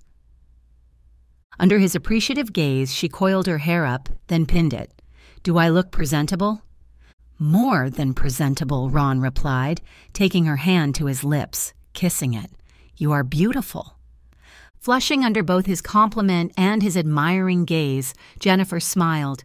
She could count the compliments she'd received throughout her life on one hand. You are too kind, sir. I'm honest. That too. I'll see you downstairs. Until then. Leaving the small room, Jennifer walked down the stairs, feeling a giddy rush wash through her. It was something she had not felt since she was 13 years old and had an infatuation with a boy in her school. I really am falling in love with Ron, but are his feelings the same? The dining room rapidly filled with guests seating themselves at tables. Jennifer passed it by and walked to the front desk. The woman behind the counter looked up with a friendly smile. How may I help you? I would like to write a letter, Jennifer replied, returning the woman's warm expression. Do you have paper and a pen I may use? I do indeed. One moment, Maureen's adverti. She went into the back and returned a few moments later with paper, an envelope, and a fountain pen. Here you are, ma'am. Just return the pen when you are finished. Thank you. I will. Taking the items into the dining room with her, Jennifer selected a small table with two chairs and sat down. A waiter brought glasses of water and set them on the table. She thanked him with a smile. After taking a moment to think, she started to write My dear friend Gloria, I hope this letter finds you well. I have been concerned for your welfare since we parted company. Are you married now? Is Mr. Tuttle a kind and generous man who will be the sort of husband you want and truly deserve? Please write back to me in the care of Mayhew, Kansas Post Office, and I am certain it will find me. God bless you and keep you safe. Your friend, Jennifer Johnstone. After folding it, Jennifer set the letter aside and saw Ron entering the dining room. She had Mr. Tuttle's address memorized and wrote it on the envelope as Ron joined her. He had donned a clean shirt and added a jacket, and his hair was still damp from his wash. A letter? he asked, sitting down opposite her. Yes, Jennifer replied, inserting the letter into the envelope, then setting it aside with the pen. To the young lady on the train. I wrote to ask how she is doing. That's very sweet of you. Well, Jennifer began unwilling to tell him that she was set to marry the man Gloria had probably wed in her place. I feel a little responsible for her. As though you were her older sister? Ron smiled. She was sure upset to see you go. I feel a kinship with her, yes, Jennifer answered, and of course I liked her right away when we met. You have no family, Ron asked. Is that right? Not since my grandfather passed away. Jennifer looked down at the letter. He was the last. I'm sorry. No one said life would be fair. She smiled without much humor. I miss him. And your folks. Though she expected the question sooner or later, Jennifer had hoped for later. Her mouth suddenly dry, she took a drink from the glass of water the waiter had brought to their table. They died right in front of me, she began, setting the glass back down. She had never liked to talk about her parents. It brought back too many harsh memories. I was 10 years old. Ron frowned and reached across the table to take her hand. That's awful. What happened? There was a storm, she replied. A bad one. Rain and some hail to start with. Then the twister came. Oh no. Ron grimaced as though he knew what she would say, his eyes sorrowful.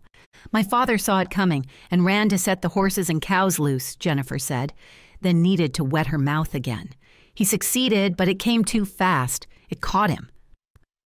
Jennifer, you don't need to go on, he said gently, squeezing her hand. Yes, I do. Now that I've started. She drew a deep breath, then let it out slowly, but it did little to calm her nerves. It picked him up, and I could hear him screaming. My mother panicked, seeing him vanish into the swirling dust. She ran, maybe to try to rescue him. I don't know. I was standing by the house, crying, scared, and the twister took her, too. It would have taken me, also, if my grandfather hadn't grabbed me and taken me down to the root cellar. I've experienced twisters, Ron told her, his hand still on hers. One destroyed a barn, but I have never lost a loved one to them. The waiter brought them their dinner and set down plates of roast beef, potatoes covered in gravy, warm bread, and a side of green beans. After recounting her story, Jennifer had little appetite, but it returned the moment she tasted the hot beef spiced with flavors that teased her tongue. This is delicious, she exclaimed, cutting another bite. Well, I enjoy your campfire cooking, Ron said with a grin, devouring his own. I did need a change. As did I. Neither of them spoke much as they ate the wonderful meal. At last, Jennifer wiped her lips on her napkin and asked, How much farther to Mayhew?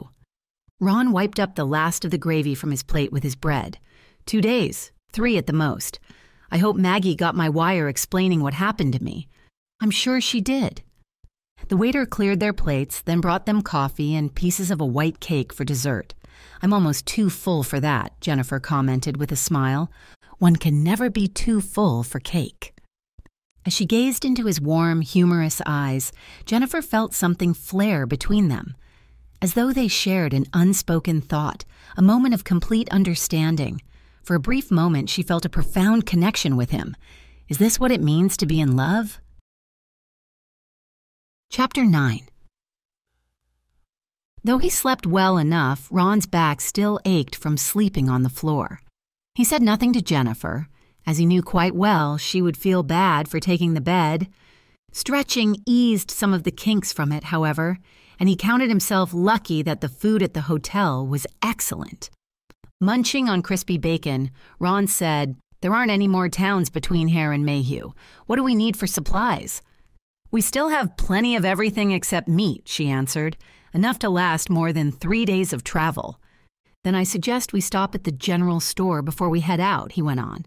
We can try our luck at hunting, but we'd best not count on it. All right. As Jennifer packed their satchels after breakfast, Ron hitched the stout mules to the wagon. He drove them around to the front of the hotel and reined in. Jennifer emerged from the front doors with the satchels, but before Ron jumped down from the seat, a rider on a horse caught his attention. He stared. The man sat in his saddle and seemed to be watching them, but he was too far away for Ron to be certain, nor could he identify him. A large buckboard drawn by a team of big drafts rolled across the broad street, interfering with Ron's ability to see the fellow. When the buckboard cleared the road, the rider was gone. What's the matter? Ron shook his head. Jumping at shadows, I reckon. Down from the seat, he tossed their luggage into the back of the wagon, then helped Jennifer up. He glanced down the street once more, but again he saw nothing out of the ordinary. With an inward shrug, Ron climbed back up and slapped the heavy reins on the mules' rumps. At the general store, whose proprietor appeared happy to sell them what they needed, Ron purchased several pounds of dried beef and a smoked ham. Once their food was loaded into the wagon, Ron looked for the man on the horse again while helping Jennifer up into the seat, then kicked himself for being a fool. So tell me about your family, Jennifer said as they left the town behind and headed out across the open prairie. Do you have more than one sibling? For the moment. Ron offered her a bleak smile. My brother in Iowa is most likely dying. I went there on the train to visit him. I am so sorry. Me too. He's a decent enough fellow as far as brothers go. Ron crushed his growing feelings of remorse and grief at the thought of losing Tom. He never had much interest in the ranch or raising cattle. He went to law school and now is a lawyer in Des Moines. That's a worthy profession. Ron shrugged. I reckon, except our folks wanted us both to share the ranch and work it together. Tom had other ideas. What's your sister like? I think she's a lot like you. Ron grinned and winked, liking the way the early sunlight danced across her eyes. Tough, spirited, always manages to buffalo me into doing what she wants. Jennifer raised her brow. And I have you buffaloed? Not yet, but I'm sure you will. Your sister sounds like a good soul, Jennifer commented, looking out over the vast prairie and its long waving grass. That she is, Ron agreed. Right pretty, too. Plenty young bucks in town keep a lookout for her at dances. One day I assume she'll pick one of them, then get married. But meanwhile, her big brother watches over her, growling at any male who shows too much interest in her. Jennifer chuckled. You got that right. My grandfather was like that. Jennifer sighed wistfully. Overly protective sometimes, which is why I haven't married. Ron said nothing for a time, pondering that void in his heart that oddly seemed much smaller now. He missed Helen terribly and still grieved for her, yet, despite that, he knew why his pain had lessened. On the train, he had felt he would never fall in love again. And he was wrong. Maybe in the end, that was a good thing, he murmured. He saw Jennifer turning her head from the corner of his eye, her mouth open, as though to ask him a question, perhaps to ask what he meant by that. Before she could, however, something, he was not quite sure what, forced him to look over his shoulder at the road behind them. A rider on a nearly black horse trotted along the road to their rear. Swearing under his breath, Ron handed the reins to Jennifer, then reached down to seize the Winchester rifle. She, too, turned, then muttered something that sounded like, Good Lord. Is that Bates?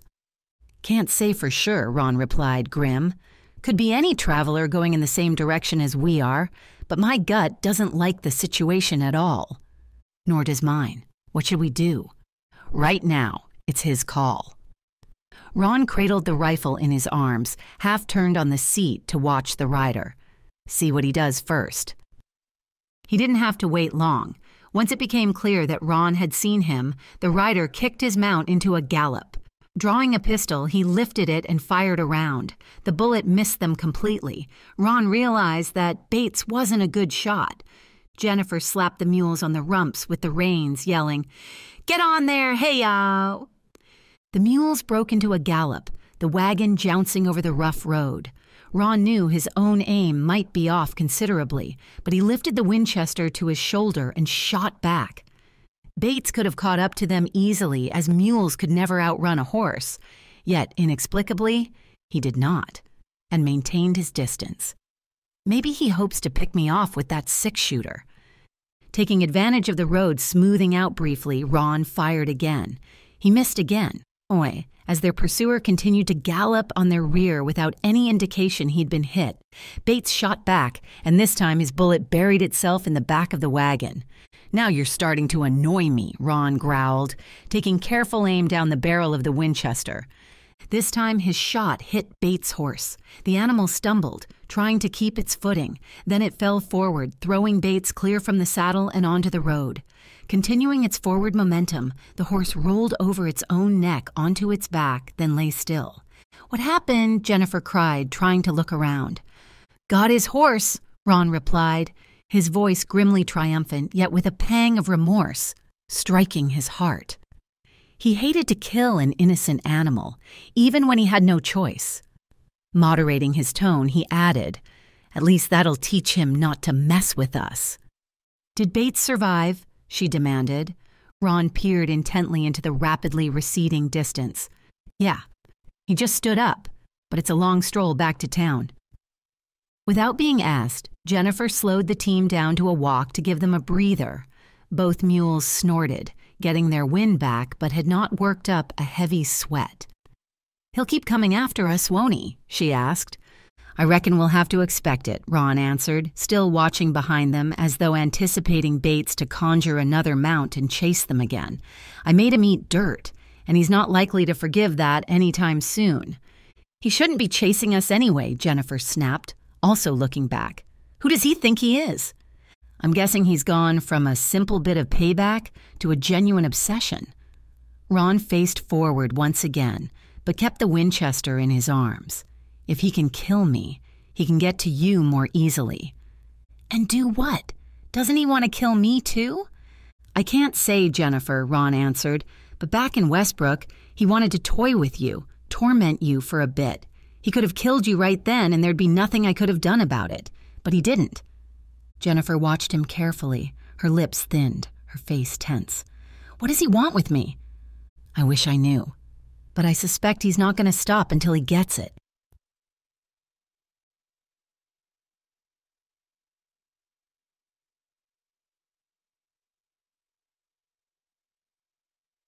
That evening, Ron picked a campsite near a rushing creek amid a small grove of thin poplar trees. As had become their habit, Ron cared for the mules while Jennifer built a fire and cooked their meal. He set out their blankets even though he did not plan to sleep that night. Estimating that Bates would need a few hours to walk back to the town, then buy or steal another horse, he could catch up to them easily if he pushed the horse hard. The mules hobbled where they could graze. Ron squatted by the fire as Jennifer fried ham with potatoes in the skillet. I'll keep watch tonight while you sleep. From across the fire, Jennifer gave him a narrow eyed stare. That should be a shared task. Only one person is needed to watch, he protested. That's not what I meant, she replied, flipping the ham in the pan over with a fork. You wake me so I can watch, and you also get some sleep. Ron started to say that it was his job to protect her, but what she suggested made sense. I reckon I wouldn't be much use in a pinch if I didn't get some sleep, he admitted. I agree. Nor can we afford to have Bates creep up on us unaware, Jennifer continued.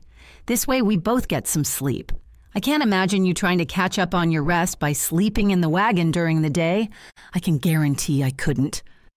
Thus, after they ate their dinner, Jennifer lay down beside the fire, wrapped warmly in her blankets, while Ron took the rifle and walked several yards from the light. With his night vision at its peak, the moon and starlight enabled him to see fairly well. Certainly enough to catch sight of anything moving towards them. Coyotes yipped in the distance as they announced the start of their hunt, and an owl soared across the sky, blocking out the stars for a brief instant. Ron followed its flight for as long as he could, listening to the light breeze through the grass and the tree branches. Occasionally pacing around the fire to watch and listen in all directions, he kept the craving for sleep at bay. As the hours passed slowly, the stars wheeling on their heavenly course, Ron pondered Christian Bates and his evident obsession with Jennifer. He understood revenge, the need to get back at someone who had done great wrong, but Jennifer only freed that young woman from his clutches, and she was not very important to him. When Ron finally woke Jennifer for her watch and handed her the rifle, he had come no closer to figuring Bates out or his motivations. He lay down by the fire and closed his eyes. I reckon I just don't understand obsession. Chapter 10 that road yonder leads to Mayhew, Ron said, gesturing. But this track here heads to the ranch. Jennifer shaded her eyes to see better, staring into the distance. Are we on your land? Ron grinned. Yep. Excitement coursed through her, swamping the exhaustion from constant travel and short rations of sleep. I can't wait to meet your son and your sister, she said. I can't wait to see them either, he replied. I'm glad you agreed to stay with us at the house. With Bates still out there looking to cause problems, she admitted, I would feel safer with you right now. Jennifer had originally thought to go straight to the Mayhew boarding house in town rather than stay at the ranch. Ron pointed out he couldn't protect her in town, and if Bates showed up, she was vulnerable. Despite her arguments that the sheriff could protect her, Ron eventually wore away all her objections. What if Bates doesn't know that is where you live? Jennifer asked. Could he possibly keep riding on past town? Ron shrugged. Possible, but unlikely. It would be better to hope that he learned his lesson in bothering us at all and rode in any direction except this one. The last two days and three nights saw no hint at all of Bates, and Jennifer dared to hope exactly that. He had risked too much in following them or attempting to exact his revenge. Maybe he got wise to the fact that he can't intimidate or kill Ron, and Ron's presence with me means he can't harm me either. It took them more than an hour to traverse the distance to the ranch house. Jennifer saw herds of brown and white cattle grazing peacefully in the distance, the green grass bending under the mild wind. Birds flew up in cheeping clouds at their approach and settled back to earth after they had passed. This land in the west is incredibly rich and fertile, Ron explained. The grass regrows quickly after the cattle graze it down. I rotate pastures through the season, and there is still plenty of grazing left to keep them through the winter months. I imagine the winters in Kansas are similar to Iowa, Jennifer commented. Much cold and snow. And blizzards, Ron added with a quick shake of his head. My property contains bluffs that offer shelter from the worst of the weather. I remember stories from my granddad's days. Cattle buried to their necks in snow and ice, freezing to death in the thousands. I've heard tales like that in Iowa, Jennifer replied though I didn't come from a ranching or a farming family. It can happen, Ron agreed. I just pray it won't happen in my lifetime. I can't imagine all those poor cows dying like that. At the top of a long, sloping hill, Ron reined in the mule and stopped the wagon. Below, a vast, shallow valley spread in front of them. A small lake fed by a sparking creek lay in the middle of it. Close by the creek stood a sprawling house, accompanied by a big barn, sheds, and corrals. Animals ambled around within the enclosures, but at this distance, Jennifer couldn't tell if they were horses or cattle. Home, Ron stated simply. It's beautiful. Stunned by its sweeping magnificence, Jennifer couldn't get enough of looking at it. As Ron encouraged the mules to continue on down the far side of the slope, she stared in wonder. I love that lake. Ron laughed. I spent many a summer swimming in it, escaping the heat. As they drew closer to the big ranch house, Jennifer felt her nervousness grow when two small figures stepped out onto the porch to watch their approach. Her mouth dried up, but Ron started to grin as the people waved wildly. I hope they like me, she murmured. Of course they will, Ron answered with a puzzled look in her direction. Dad, Nearing the porch, Ron reined the mules in just as the young boy leaped from the steps without touching them and ran to meet the wagon. Dad, I was so worried about you. The boy, David, looked a great deal like Ron, but with lighter colored hair. He had a slender build, and the top of his head reached Ron's chest as the two embraced. He gazed up at his father with a grin, adoration clear in his gaze.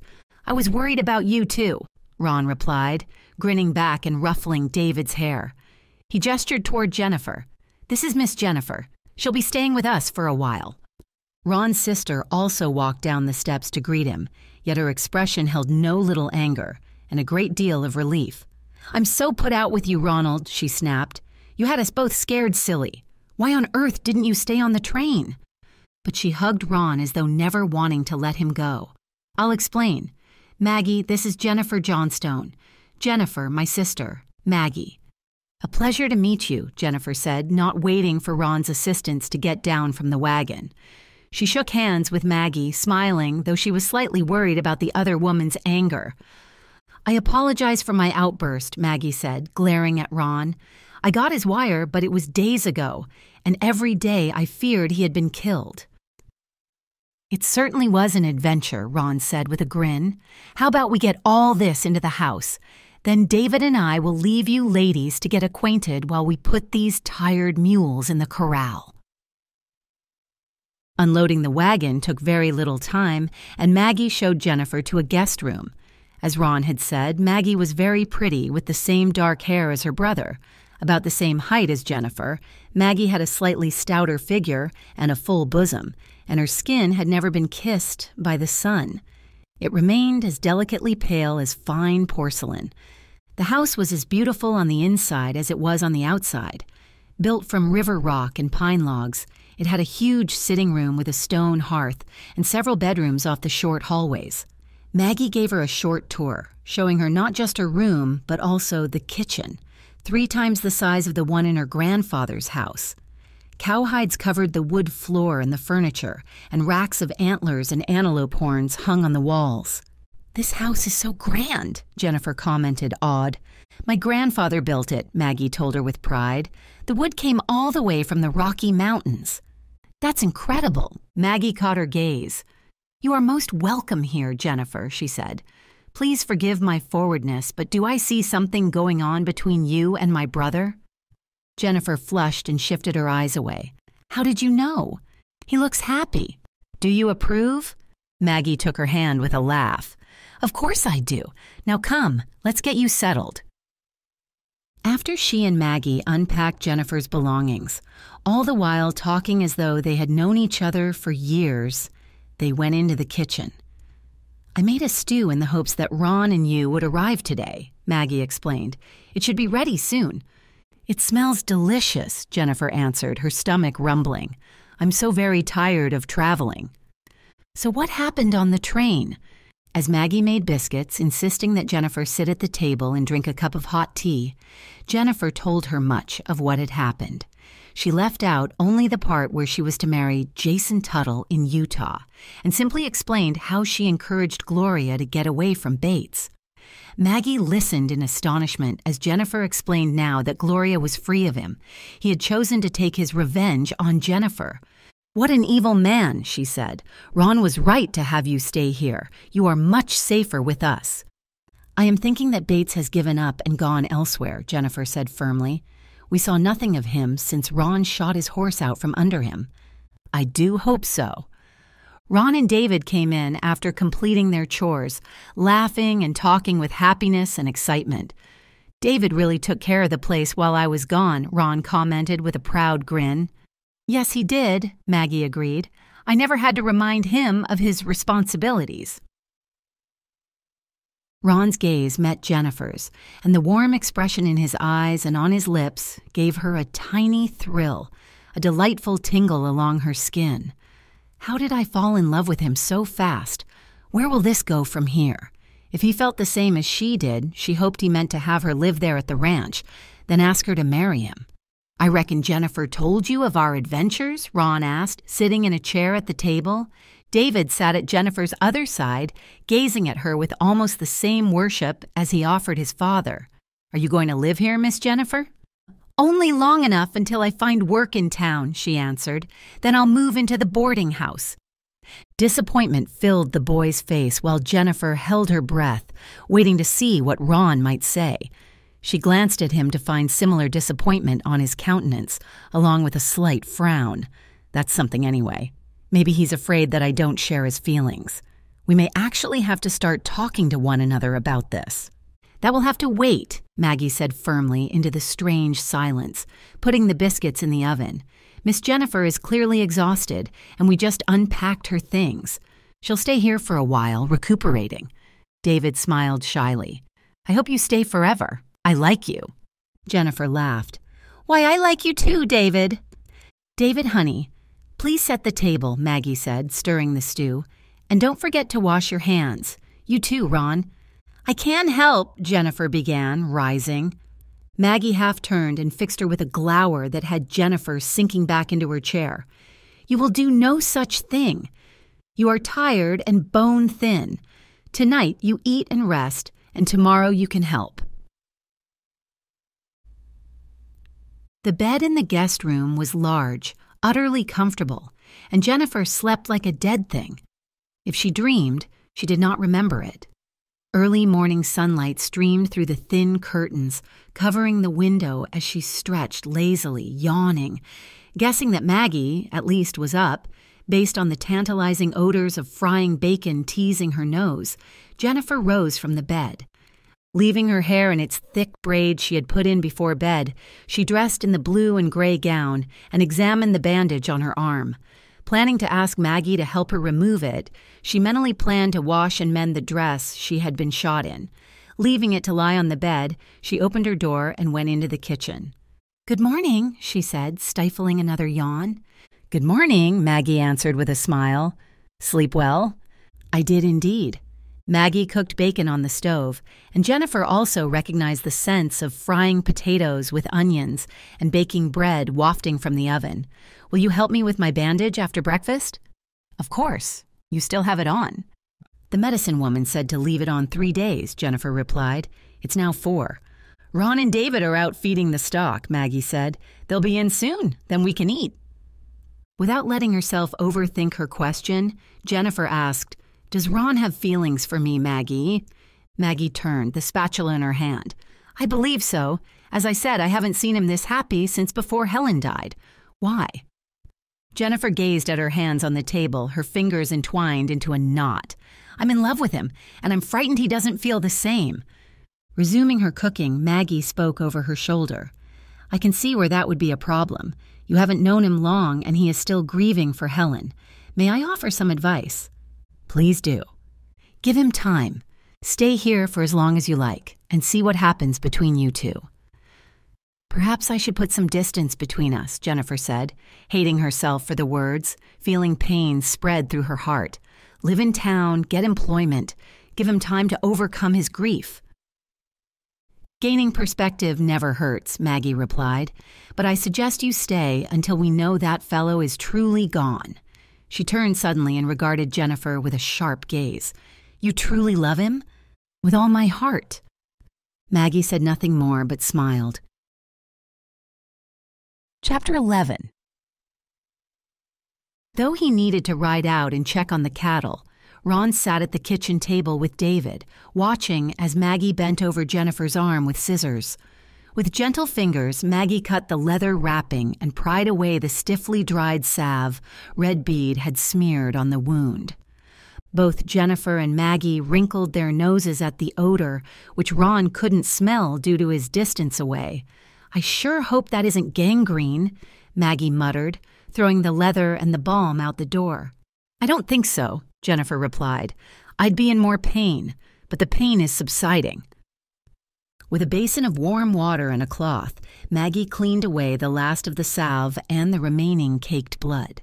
Both women stared at the healthy pink hue of her upper arm, as well as the healing slash that marked where the bullet had cut her.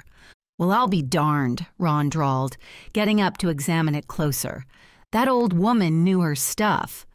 She did indeed, Jennifer replied, grinning. I'll have a nasty scar, but my sleeves will always hide it. I'm going to put a new wrap on it, Maggie said. The flesh there is tender, and you could open the wound easily. Well, then, Ron said, glancing at David, we're going to take a ride to check on the cattle. After lunch, would you like to go into town with me, Jennifer? Yes, I would. Ron very much liked the way she looked at him, as though she gazed at the most special man in the world, him. With that tiny half smile creasing her lips, Jennifer almost seemed as though she were about to impart a secret. Maybe the secret is that she loves me. Ron hoped that was true, for he knew he had fallen headfirst in love with her. Let's go, David.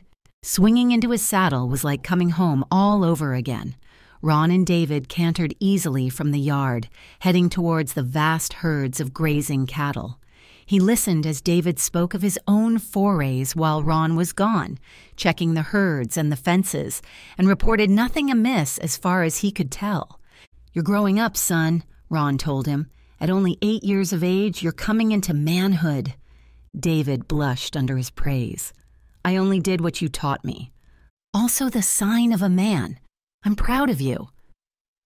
Ron observed the cows nursing their spring babies, sagging the fence that David didn't have the strength to fix, the yearlings growing fat on the sweet grass.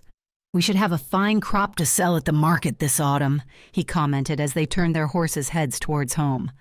Can I come into town with you, Dad? David asked. Sure, why not? After lunch, the three of them rode into Mayhew, Jennifer refusing to spend any more time riding on the wagon. It feels good to ride a horse again, she said, with a happy and carefree grin. If I never see that wagon again, it'll be too soon. Ron had to concede. I think I might agree with you. Riding into Mayhew took half the time it would have with the wagon, and by two in the afternoon they dismounted in front of the general store. Tying their reins to the hitching post, Ron guided Jennifer and David towards the front door. Mr. Thompson might still want help in here, he said, his voice low. But remember, you don't have to do this. You can stay at the ranch for as long as you want. Had it been a cold winter, Ron could have warmed himself at the smile she sent him. Let's weigh all the options, she murmured. Then decide. Mr. Harold Thompson grinned widely from behind the counter as Ron, Jennifer, and David ambled through his door. Ron, he exclaimed, I heard you went to Iowa. Ron smiled and shook his hand. Just got back. This is Jennifer Johnstone, a very nice lady I met on the train. She would like to know if you still need help here in the store. Harold gazed at Jennifer with something akin to awe. Why, ma'am, I surely do. You appear educated. Can you write? Jennifer laughed. I can. I can also do sums, stock shelves, deal with customers by helping people purchase what they need, restock when new items come in, and I'm pretty good at cleaning. Harold leaned over the counter, his gaze avid. When can you start? When do you want me to? Ron felt no little disappointment when Harold hired her on the spot. While he understood that was what she wanted, to be independent, he also wanted her at the ranch. Can you give her a day or two to recover from the journey, Harold? he asked. It was a tough trip. Certainly, I can. His aged blue eyes glanced at Jennifer. As this is Thursday, why don't you start fresh on Monday morning? Mr. Thompson, I would be delighted to start Monday. Harold actually rubbed his hands together, laughing. Thank you so much for bringing this jewel in, Ron. David, how would you like some horehound candy? I would like it very much, sir. As he escorted Jennifer around the town, introducing her to the people he had known for most of his life, Ron felt no little astonishment at how quickly his friends and acquaintances took to her. She was greeted with smiles, with good natured humor, and many, many compliments. It almost seemed to him that the men coveted her while the women envied her, and yet she greeted them all with the same sweet, uncomplicated smile. Ron forced himself to steer her away from a pair of young cowboys who stared at her openly with clear greed in their eyes. They elbowed one another, their hats in their hands, grinning like fools as they each vied for Jennifer's attention and smile. Unbelievably, jealousy rose like a bitter tasting posset in his mouth, and Ron slipped his arm through hers before the temptation to punch them in their noses came to fruition. How about we head on back? Ron suggested, glancing over his shoulder as the cowboys watched them depart. Their disappointment hung over them like a shroud, even as his triumph at defeating them surged within his heart. I suppose we should, Jennifer answered, and took the opportunity to lean in a bit closer to him. I really should help Maggie with supper. When she draped her hand over David's neck in affection, and Ron observed David's dazzling smile as he gazed up at her, Ron knew he had done the right thing. And I am in love with her. Against the odds, I found love again.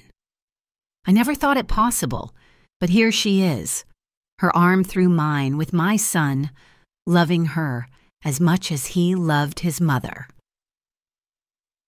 Feeling freer, lighter than he had in a year, Ron rode beside her as they headed towards the ranch, listening to Jennifer and David's happy chatter. His son busily informed her of how he rode to check on the cattle every day while his dad was gone, helped his Aunt Maggie with chores, fed the horses, the pigs, the chickens, the milk cows. He assisted with the planting of the vegetable garden, shot a hungry coyote in search of a chicken dinner, and still had time to work on his reading skills every evening. I can help you with your reading, Jennifer said. I love to read. I'm trying to read a book Aunt Maggie gave me, David said, crestfallen. It's hard. Why is it hard? It's called Oliver Twist, and I can't understand it. Jennifer laughed, including Ron in her humor. I adore Charles Dickens, she declared. How about I start helping you this very night? David grinned. That would be neat. She is so smart, much smarter than I am. How can I compete for her love when everyone she meets loves her? I have no idea who Charles Dickens even is. Depression filled his soul that had just hours earlier soared with his love for her, and Ron suddenly doubted his ability to win her over. What would she want with a fellow like me? After supper, as Jennifer helped David with his reading and Maggie mended a rip in one of Jennifer's dresses, Ron sat in his favorite chair and watched the fire dance on the hearth. He listened as Jennifer explained just who Charles Dickens was, what he wrote, and why. Then, as David read aloud, encouraged him. You should be a school teacher, Ron remarked during a break in the reading. Jennifer laughed with one of her beautiful blushes that only made her prettier in his opinion. I love children, she admitted, but I lack a great deal in some subjects. Like what? Well, I can do adding and subtraction, she replied. I am terrible at fractions and am a horror in teaching civil government. So are all our state and federal politicians, Maggie added dryly, her needle flickering in the lamplight. Our beloved president could use a refresher course. Maggie, Ron admonished, laughing, what do women know of politics? She flashed him an impudent glance. More than you know or realize. I'm not sure women should meddle with politics, Ron commented dryly. Suddenly, he discovered both women's heads swiveled towards him, and twin sets of scowls were now directed at him. Ron gulped. You are a plumb fool, Ronald Hawthorne, Maggie snapped. Women are equally suited for anything men can do. You boys simply refuse us the opportunity. I agree, Jennifer added. Give us the chance at an equal education, and we'll show you what our minds can do. Uh, I didn't mean for this to turn into a political argument, Ron said, defensive. Let's not get hot about this now, gals. Just you wait and see, brother mine, Maggie warned him. Women will one day become lawyers and become involved in government. Wisely, Ron merely nodded, not wanting to get Maggie riled over such an inconsequential thing. Jennifer returned to helping David with his reading, and he covertly watched the two together. David still grieved for his mother, but with the resiliency of children, he had recovered faster than Ron had. Look at them. David liked her instantly and quickly moved into loving her, and she's clearly very good with him and loves him back, even after such a short time. What does that mean? Beginning to believe that Jennifer fit so smoothly into his house and his life because she was meant to be there, Ron excused himself and headed for his room to sleep. But does she feel the same way I do? Chapter 13 Early Monday morning, Ron watched Jennifer ride for town on the first day of her new job. He had tried to talk her out of going, but she insisted. I gave my word, Ron, she had told him. I can't go back on it. Seeing her turn in the saddle and wave, Ron waved back, then sighed. A man is no better than his word, I reckon. That goes for women, too. When will she be back, Dad? David asked, also watching Jennifer ride away. This evening. Come on, we need to finish feeding, then get our breakfast. Maggie filled their plates with hot bacon, eggs, bread, and fried potatoes as Ron and David sat at the table. You need to give Jennifer her head, she advised, sitting down to her own meal. She's independent and needs to find her own way. I reckon, Ron replied, eating quickly so he and David could ride out and repair fences. She just doesn't have to. She feels that she does. Keep things in perspective for a while. Though he knew Maggie was right, Ron couldn't help but worry about Jennifer riding the miles to town by herself. He argued with himself that she was mounted on a solid horse and had a good head on her shoulders. If she ran into the trouble, she would most likely ride straight out of it. Even as he and David worked through the day, sweating as the summer grew closer, Ron continued to worry over Jennifer. Christian Bates had never turned up, but that didn't mean he wasn't lurking somewhere in hiding, biding his time. Still, Bates could have also moved on to other territories, and could even now be harassing some woman in Texas for all he knew. I think that'll do it, he commented, taking off his hat and wiping his forehead with his bandana.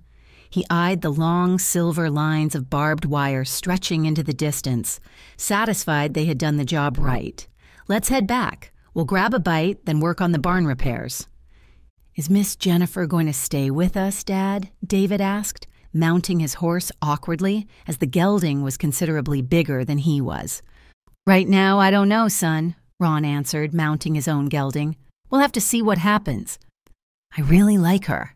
David reined his horse's head around toward home. I want her to stay. I do too.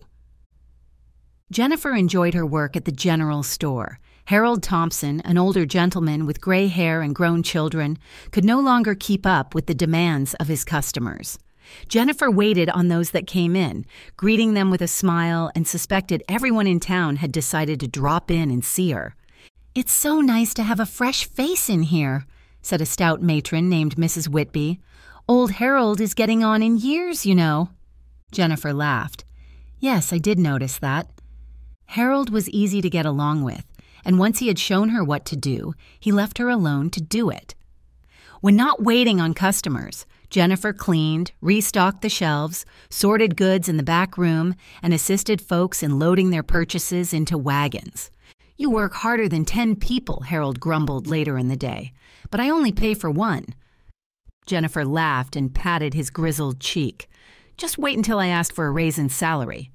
I think I'm in trouble. The doorbell chimed, announcing another customer.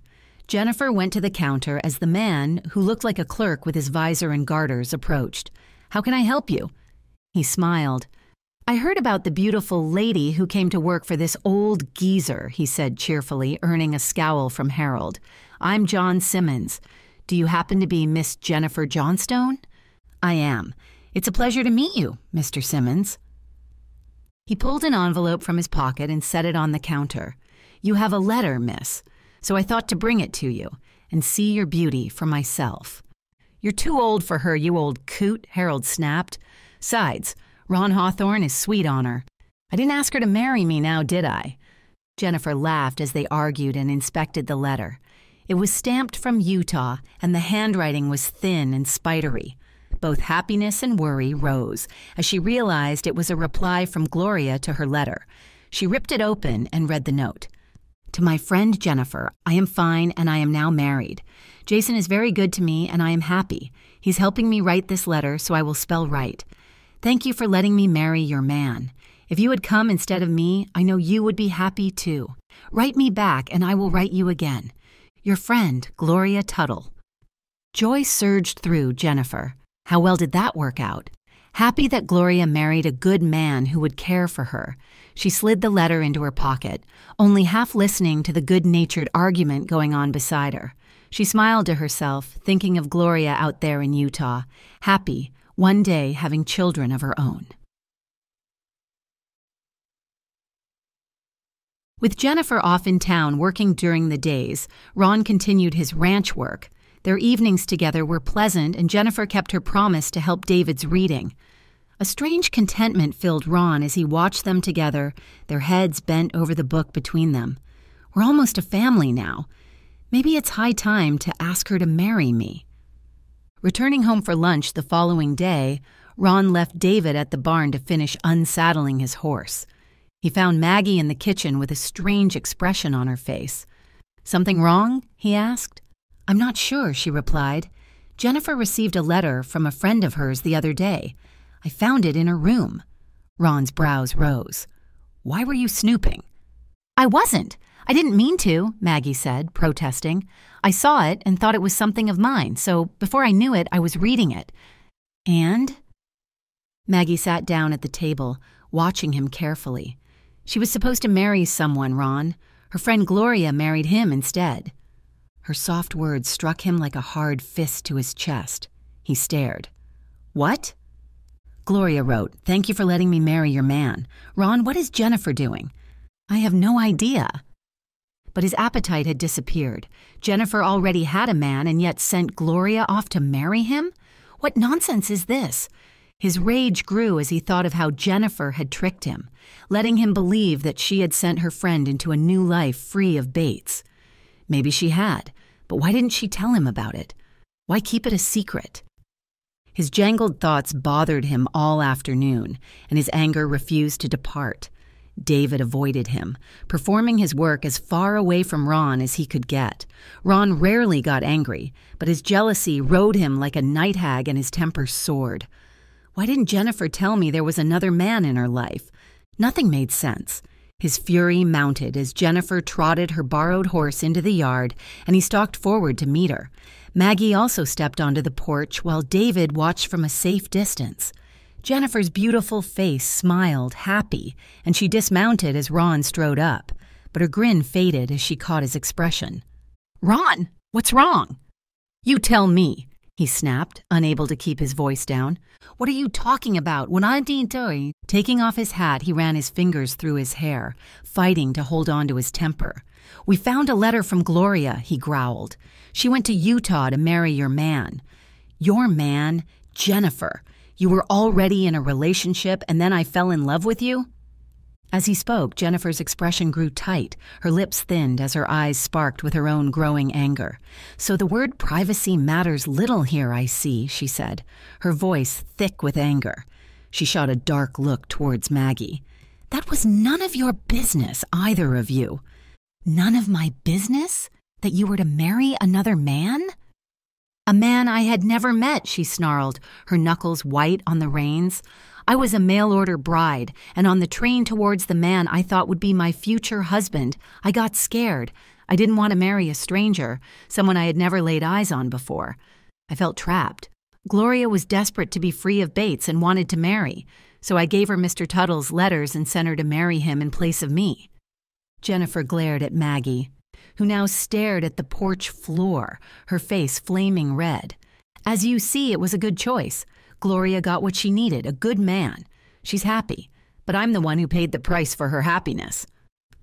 Ron felt his anger ebb, but still couldn't understand why Jennifer didn't tell him about this Tuttle in Utah. So you decided to keep it a secret, he continued, his voice grating. I don't much like secrets, Jennifer.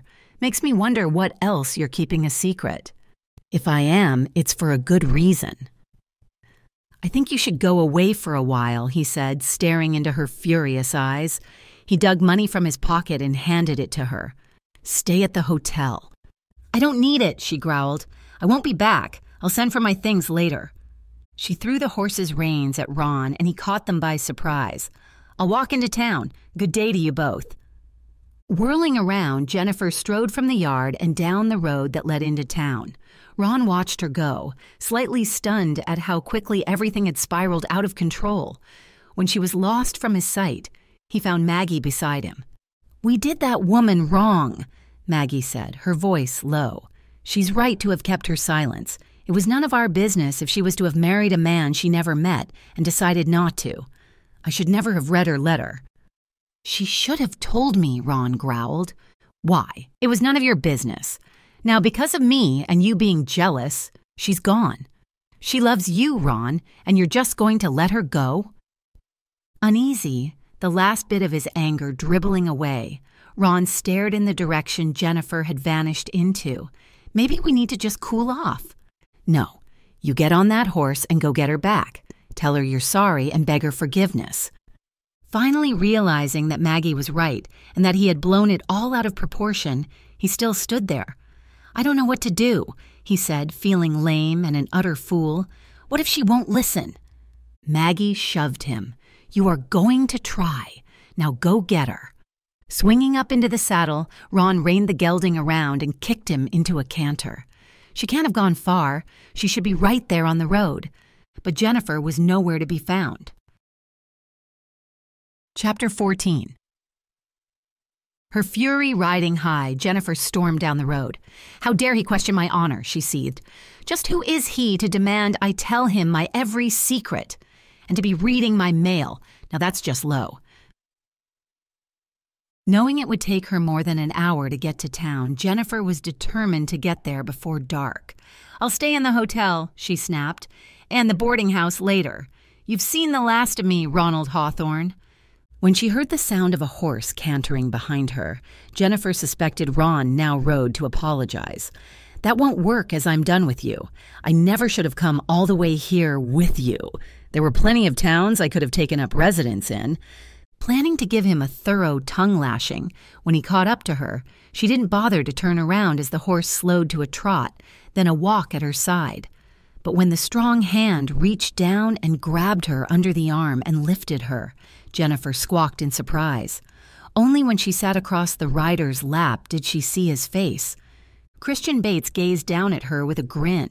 Look at you, stomping down the road in a fit. Too shocked to struggle at first, Jennifer gaped. What? You. Yep, it's me, little gal. Did you miss me? Lifting her hand, Jennifer slapped him across his face. Let me go, you scoundrel! His face dark with anger, Bates gripped her striking arm in his hand, then kicked his horse into a gallop. Now you want to quit that, Missy, he snapped, holding her tight against him. I don't want to hurt you. Jennifer struggled and kicked, trying to escape the solid grip he held her in. Let me go, she howled. Not yet, little girl, he growled. You cost me Gloria, so now your rich friend can pay me back for her. I bet you're worth a thousand dollars. I'm worth nothing to that dog, she snapped. If you don't pay up, Bates said with a grin, then you'll be working for me until your debt is paid. Discovering that fighting him only made her exhausted, Jennifer ceased her struggles. I will do nothing of the sort. Course you will. You got no choice. Settling down to plan her escape from Bates, Jennifer watched the passing countryside and thought furiously.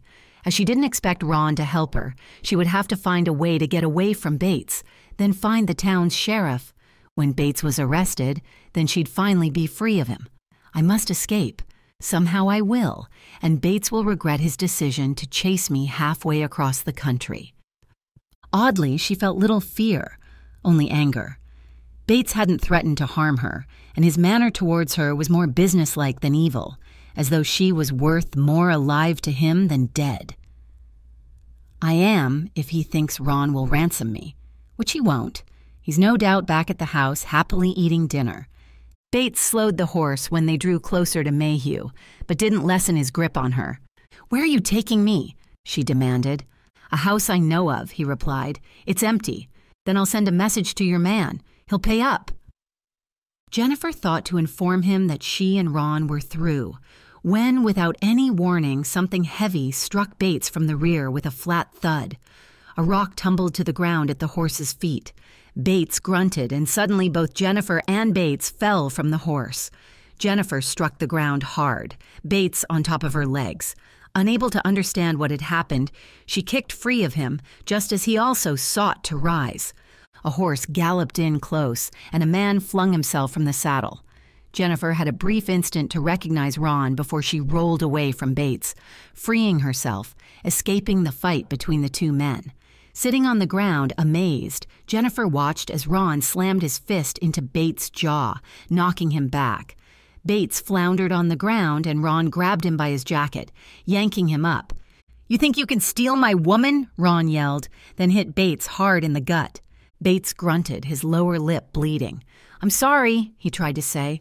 Ron hit him again, then let him drop to the ground. Bates curled up into a ball, holding his stomach and groaning as Ron lifted him again, then gave him a solid blow to his jaw, knocking Bates out cold. Jennifer stared as Ron, breathing hard, stood over Bates' still form. Then Ron turned. Jennifer, he began, I'm so sorry. I was wrong to accuse you of anything bad. You have a right to your secrets, and I am sorry. Please, will you forgive me? As he knelt by her side, Jennifer felt her anger wash away. He came for her. Against the odds, he had come for her. His eyes told her more than his words that he was truly sorry for hurting her. He really means it. She pressed her palm to his cheek, smiling. I should have told you the true reason I was on that train in the first place, Ron she admitted. I just didn't think it was important. Turning his head, Ron kissed her hand. It's not important. It never was. I love you. I want to marry you. Tears stung her eyes. You do? I do, more than anything. Jennifer, will you marry me? Joy sang in her heart, coursed through her veins. Flinging her arms around him, she laughed, crying, holding him tightly to her. Yes, Ron, I love you. I want to marry you. Pushing her away enough so he could kiss her, Ron did exactly that, then kissed her cheeks, her tears. I'm so sorry, he murmured, their foreheads touching. I was so stupid. It's all right, you're here now. Rising, Ron lifted her to her feet but kept his arm around her shoulders. He glanced down at Bates. I suppose we should turn him into the sheriff. He tried to kidnap you. Maybe he's wanted for other crimes. Jennifer suggested, wiping her tears away. Think there might be a reward for him? Ron laughed. If there is, it's all yours. You caught him. But you did the hard work. I think there's some rope in that saddlebag. We'd better tie him up. Before he reached for it, Jennifer grabbed his hand, gazing up into his face. I have no other secrets, Ron. I love you. Even if you did, he replied, taking her in his arms for a long kiss that left her nearly breathless. I have no right to them. I love you too much to risk losing you again. Read a doctor to brighten her darkest hour now. Scan the QR code or click on the link in the description to read the next book in the series. Share this video with your friend or watch on of the following videos. Subscribe to our channel, like this video and hit the notification bell to not miss any new audiobooks. Thank you for watching.